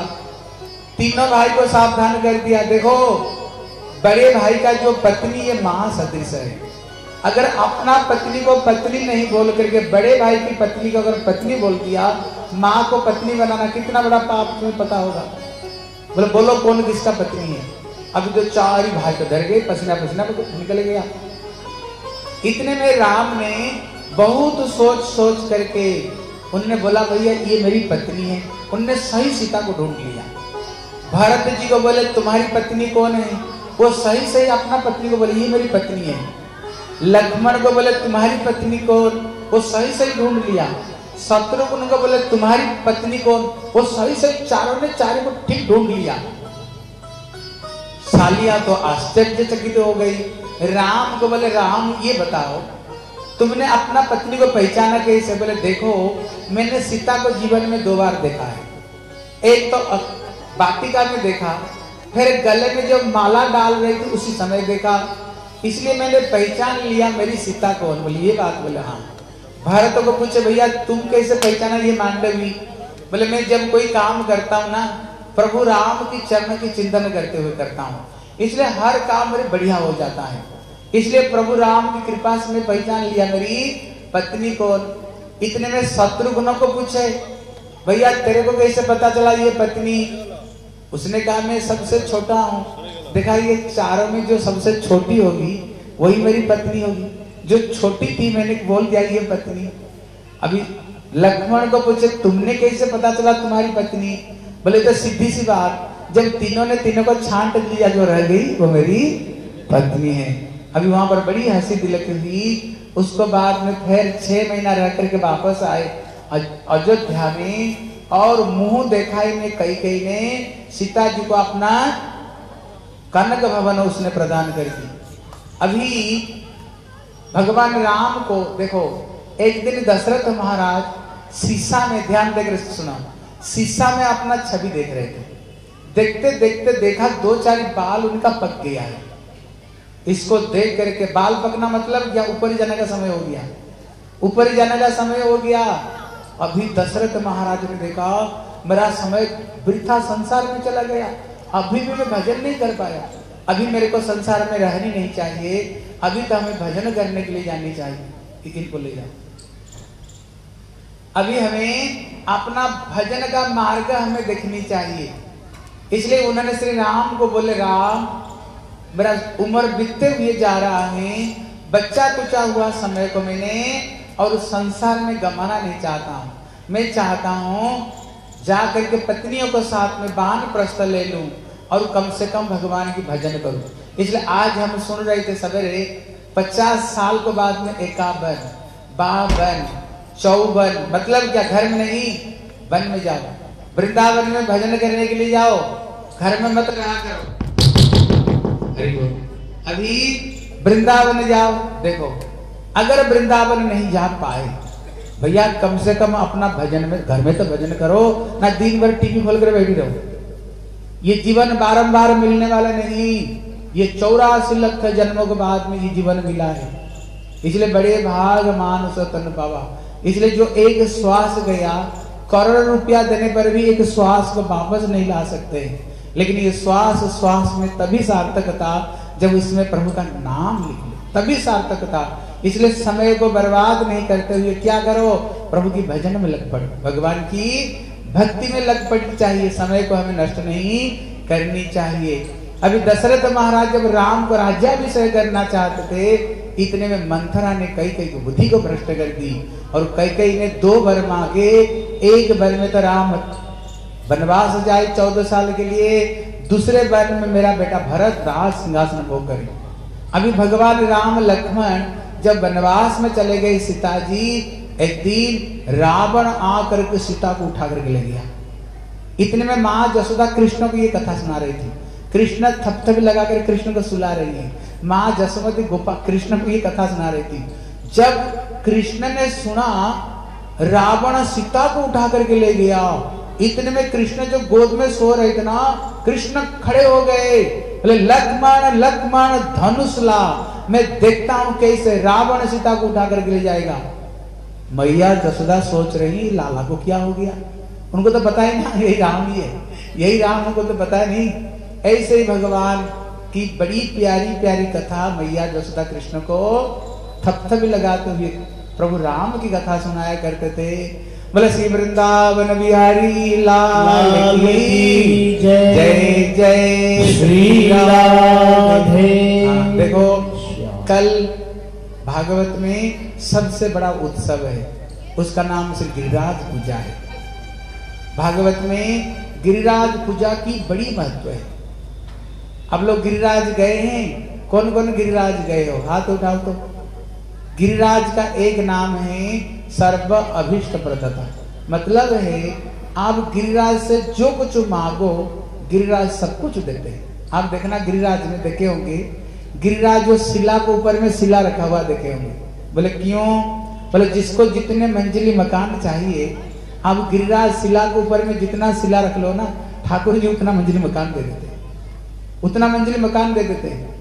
देखना, कोई दूध की धार से परिक्रमा लगा रहा है, कोई अभिषेक कर रहे हैं, झरना में जैसे पानी चलती है, ऐसे दूर की धारा चलती है। कोई दंडवती परिक्रमा करते हैं, कोई देखना पेड़ में सब रस्सी बांधा हुआ देखोगे। बोले, क्यों? बोले, जिनकी बेटा बेटी की शादी नहीं हो रही है, गिरिराज में जाओ, परिक्रमा अभिषेक करो बेटा बेटी की शादी हो जाती है।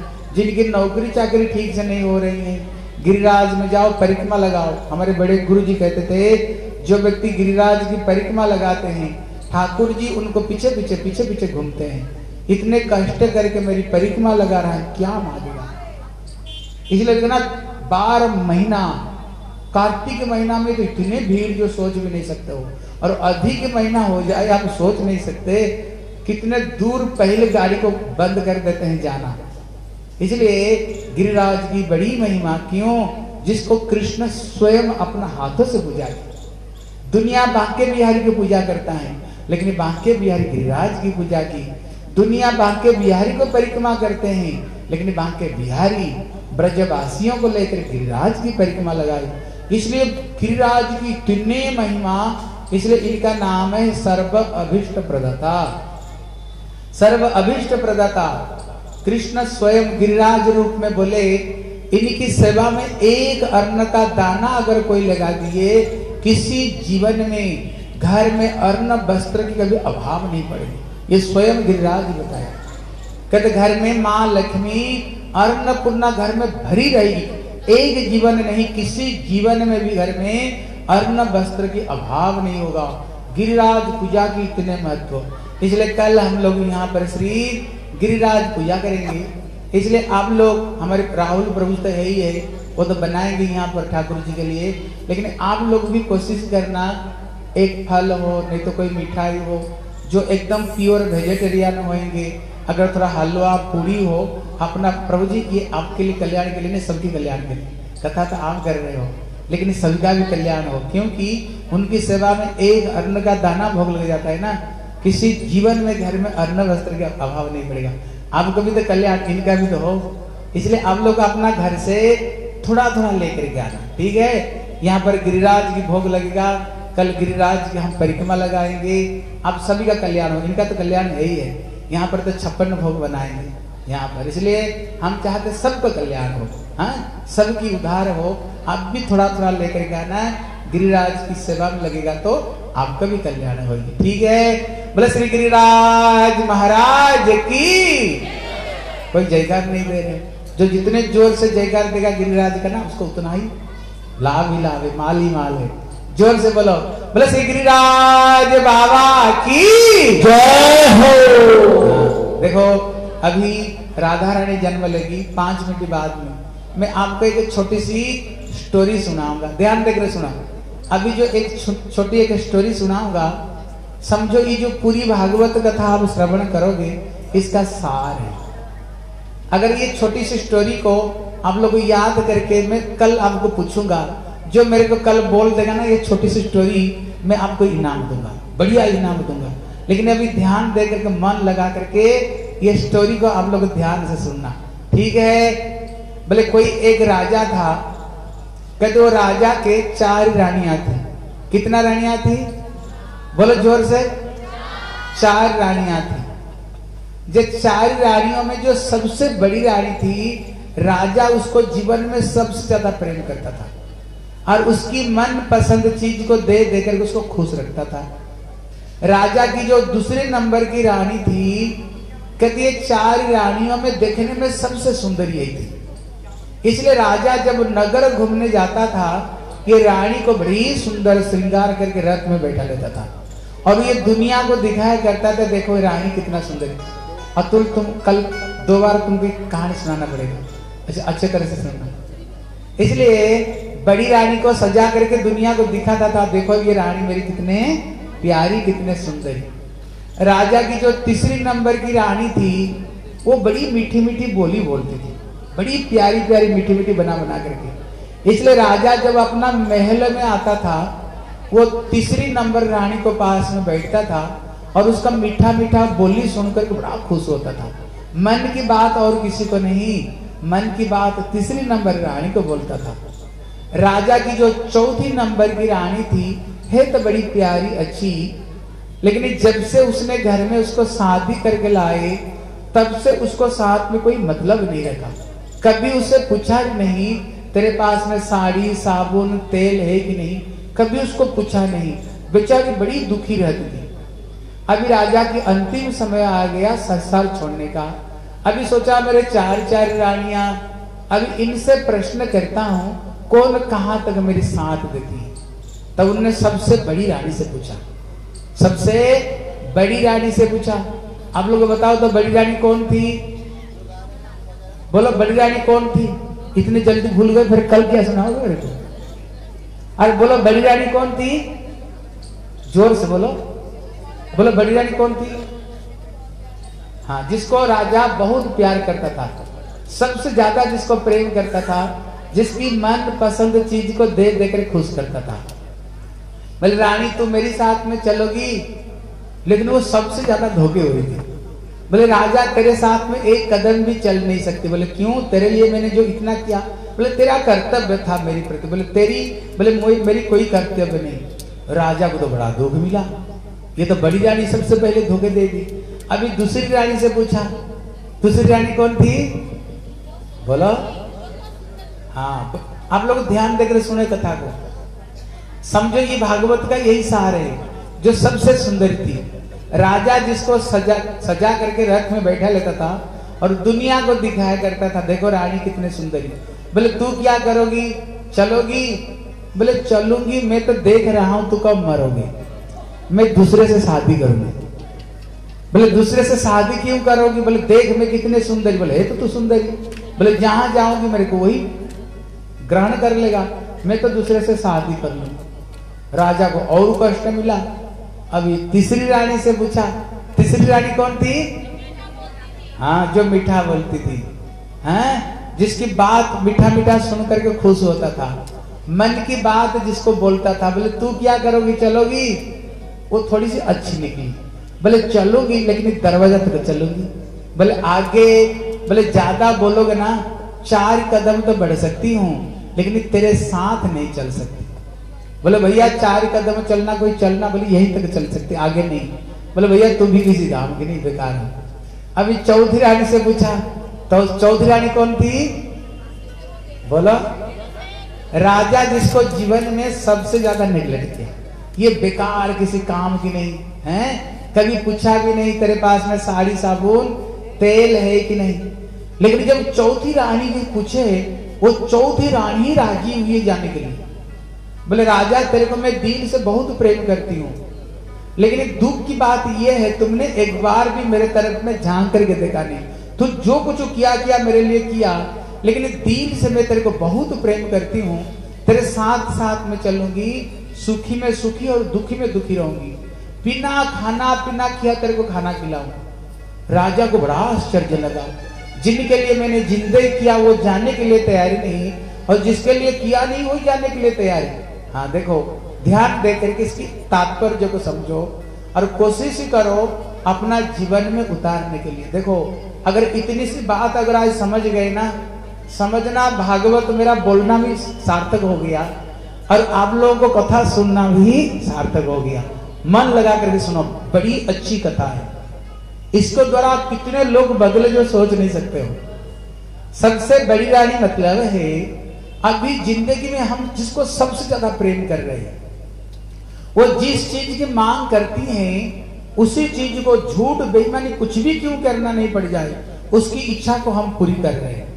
लेकिन जब हमारी अंतिम समय आएगी, सबसे ज़्यादा धोखे देने वाली वही निकली कहते भैया, ये कौन है जिसको जीवन में सबसे ज़्यादा प्रेम करते हैं? बता सकते हो कौन है? आप लोग जीवन में किसको सबसे ज़्यादा प्रेम करते हैं? बोलो। बोलो पीछे जो बैठे बोलो। पीछे जो बैठे हुए बोलो। जो सुने तो बोल दो जो सुने नहीं बोलो। कौन है? किसको? औलत। दौलत दौलत। ज़ोर से बोलिए ज़ोर से। हाँ धन है। नहीं ये भी एक आंसर है। ये भी एक आंसर है। हाँ देखो सुनो। जगत में, शास्त्र में बताया, जगत में प्रेम नाम का कोई चीज़ है ही नहीं। यहाँ पर केवल स्वार्थ है। वो जो हमें थोड़ी सी प्रेम दिख रहा है, वो इसलिए प्रेम दिख रहा है क्योंकि आपसे कुछ मिल रहा है। वो मिलना बंद हो जाए देखना, उसी समय में आप देखो, आप ज़िंदगी भर किसकी सेवा करो? ज़िंदगी भर किसकी सेवा करते रहो? थोड़ी सी कोई त्रुटि हो जाएगा ना, वो झट बोलेगा, तुम मेरे लिए क्या? वो सोचेगा, नहीं, तुम हमारा लिए इतना क्या, ज़िंदगी को नहीं सोचेगा। सामने थोड़ी सी कोई भूल चुक हो गई बोले तू मेरे लिए क्या किया? हो एकदम झट उतर आता इसलिए जगत में भैया किसको खुश नहीं कर सकते हो? प्रश्न है फिर हम किसको जीवन में सबसे ज़्यादा प्रेम करते हैं? कहते अपनी आप को अपना शरीर को सबसे ज़्यादा प्रेम करते हैं। ये शरीर को जो सुख देना वही सब कुछ है। और शरीर को अगर थोड़ी सी दुख हो जाए वो कोई को, कोई कुछ नहीं हो क्यों? उसी समय हम उसको त्याग दे देते उसी समय में त्याग दे देते उसको। इसलिए शरीर अगर बोलेगा, ब्यूटी पार्लर में सजना चाहता हूँ, चलो, ब्यूटी पार्लर में सजवा बोले, गोलगप्पे खाने चाहते बोले, खिलाएगी। बोले टिकिया बोले, खिलाएगी। हैं? बोले, ये ऐसे साड़ी पहनना चाहते बोले, तेरे को साड़ी पहनाएँगे।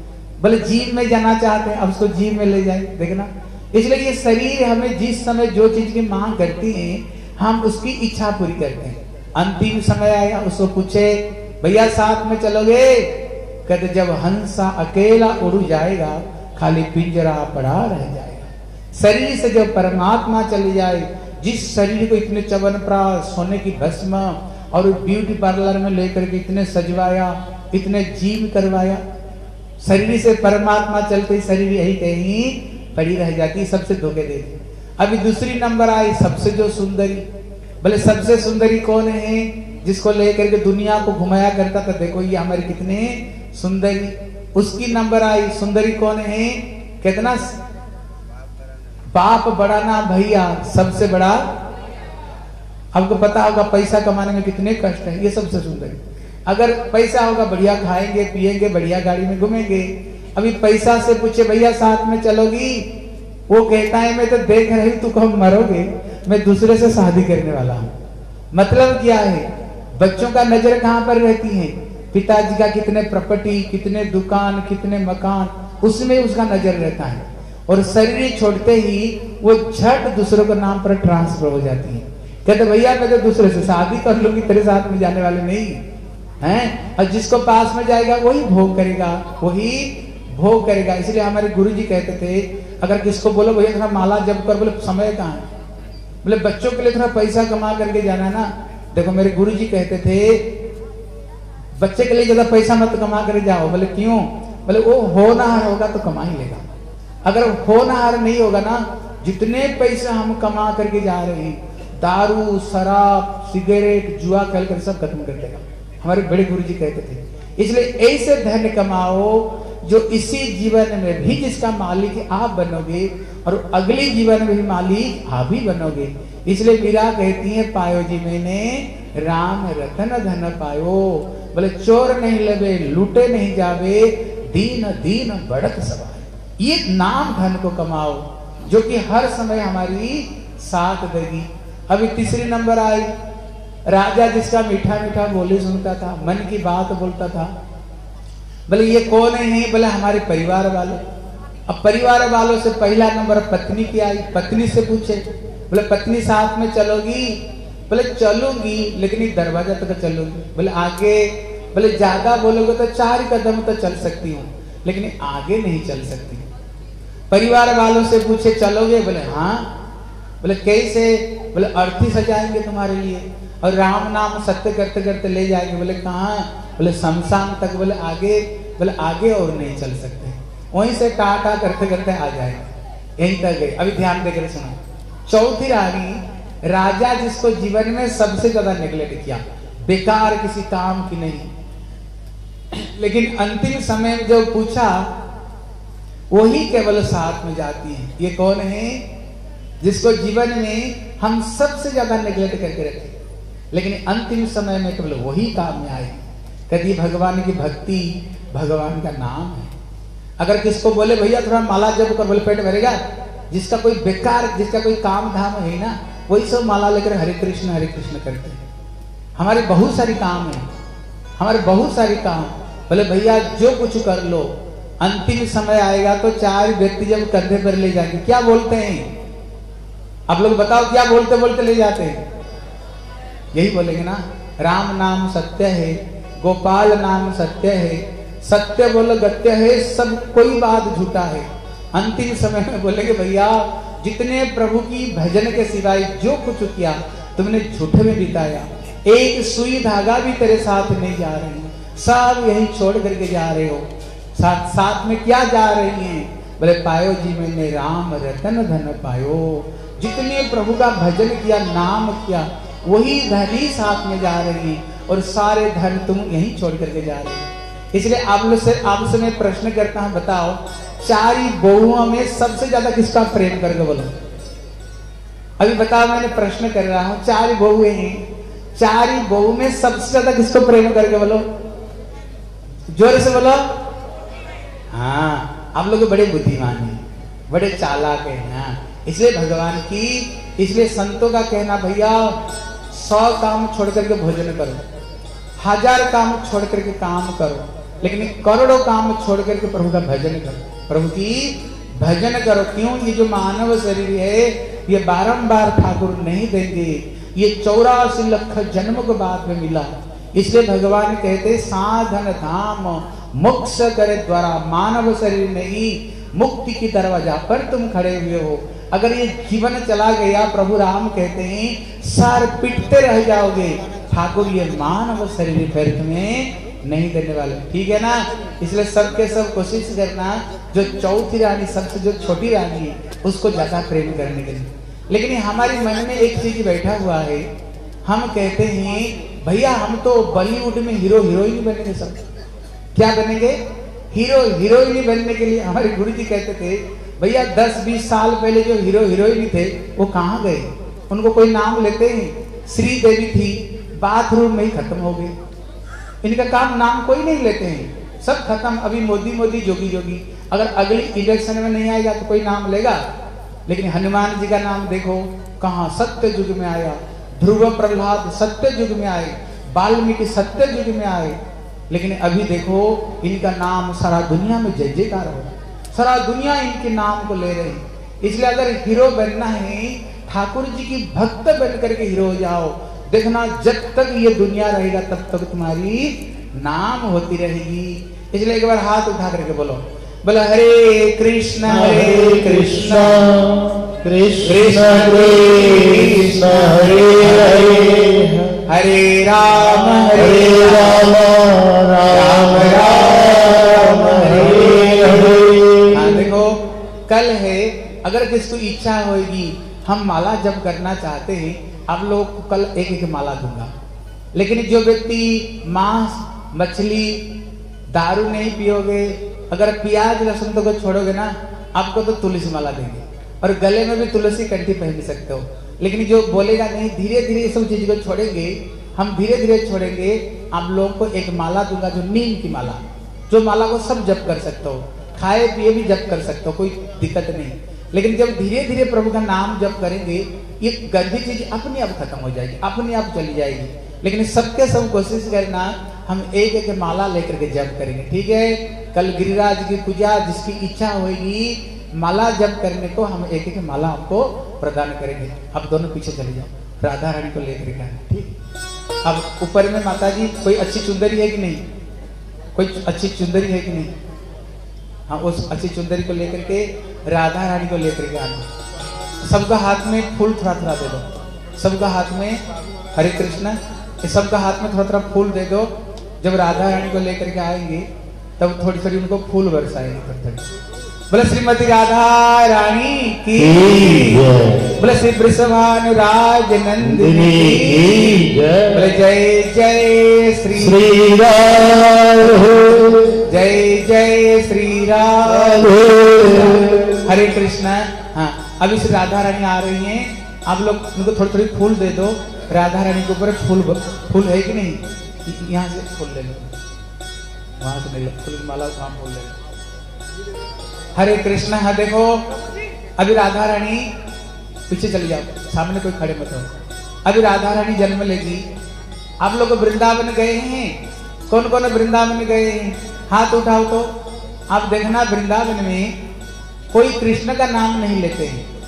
वृंदावन में किसकी नाम लेते हैं? ज़ोर से बोलो। और ज़ोर से पीछे से आवाज़ ही नहीं आ रही।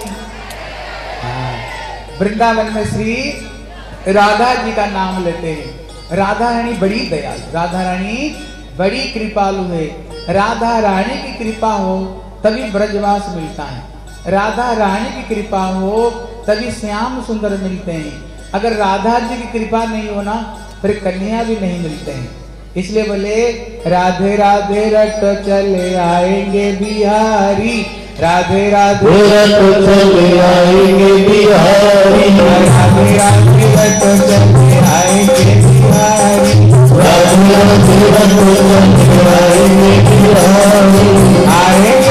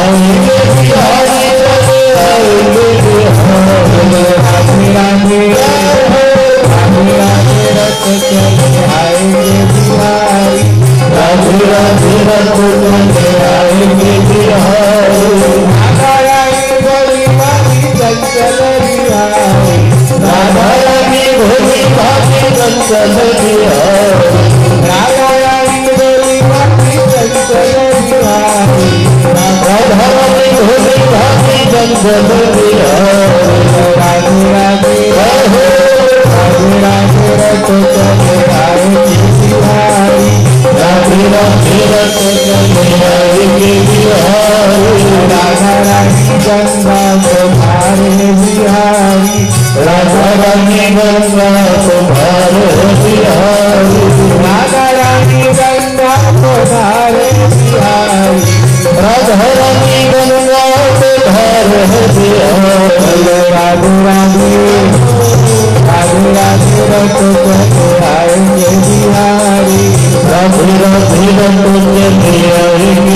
आएँगे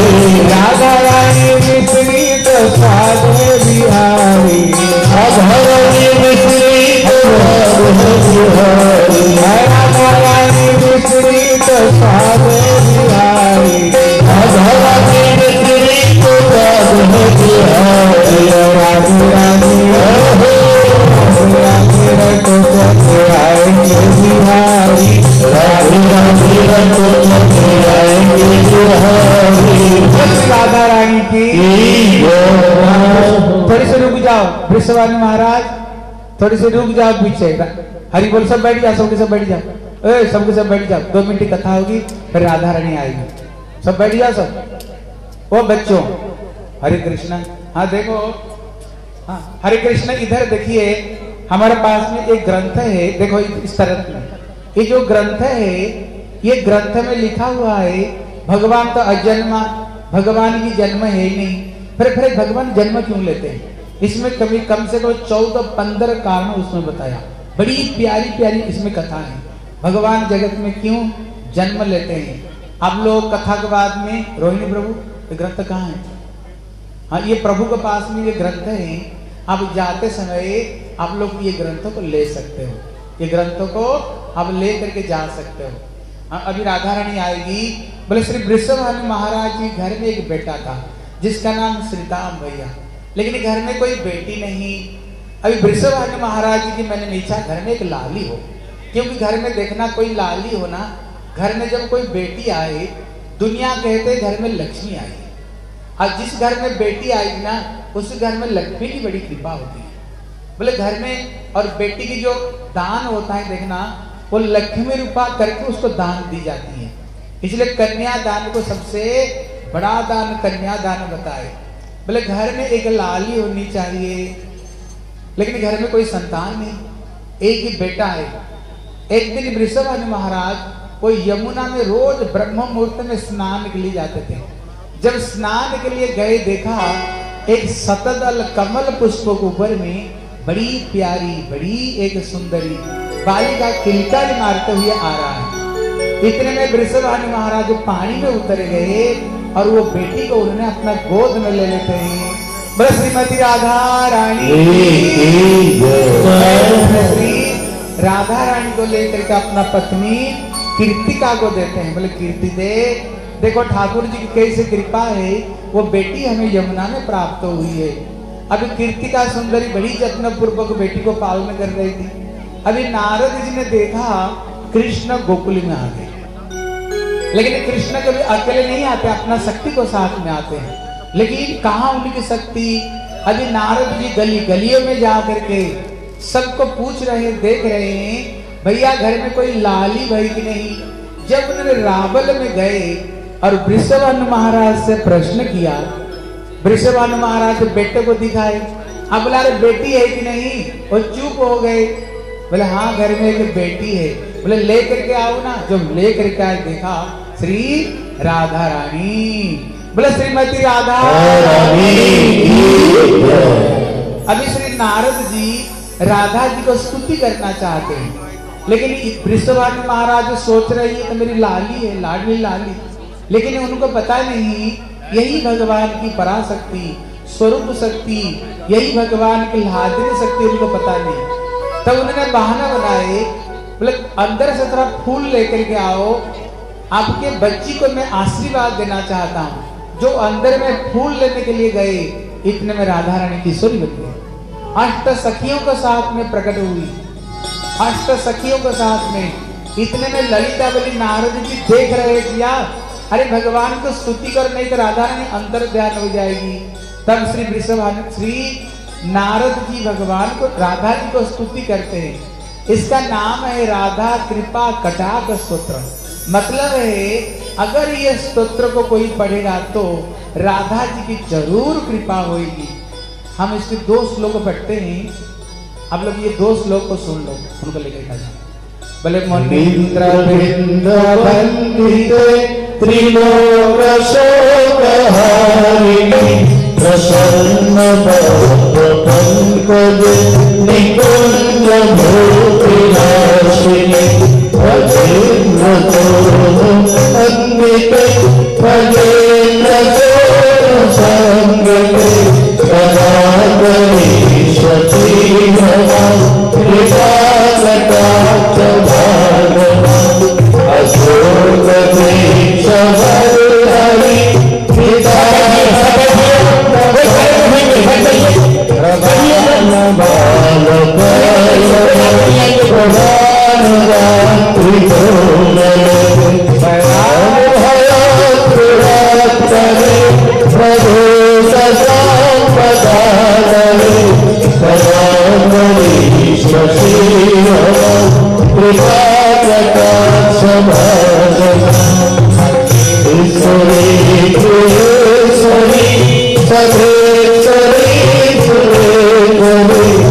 श्रीदेव भारतेश्वरी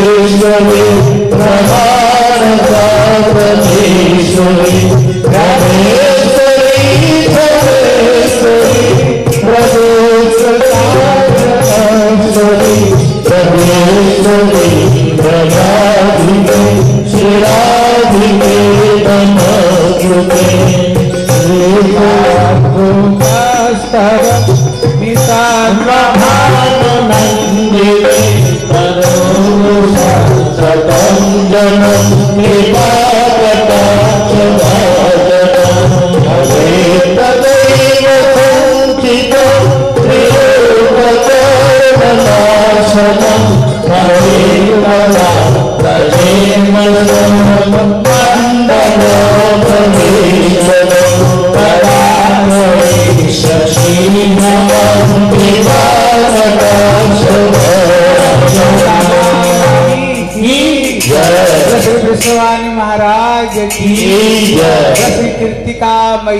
की। जय।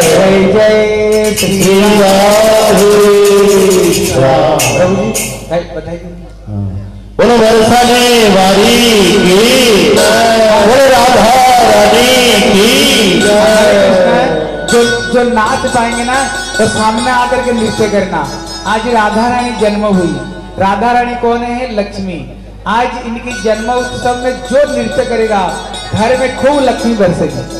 घर में खूब चकाचक माल आएगी घर में। क्योंकि राधा रानी ये लक्ष्मी स्वरूपिणी मूल लक्ष्मी श्री राधा रानी। इसलिए जो माताएँ जो नाच सके वो सब के सब सामने आ जाओ। बोलो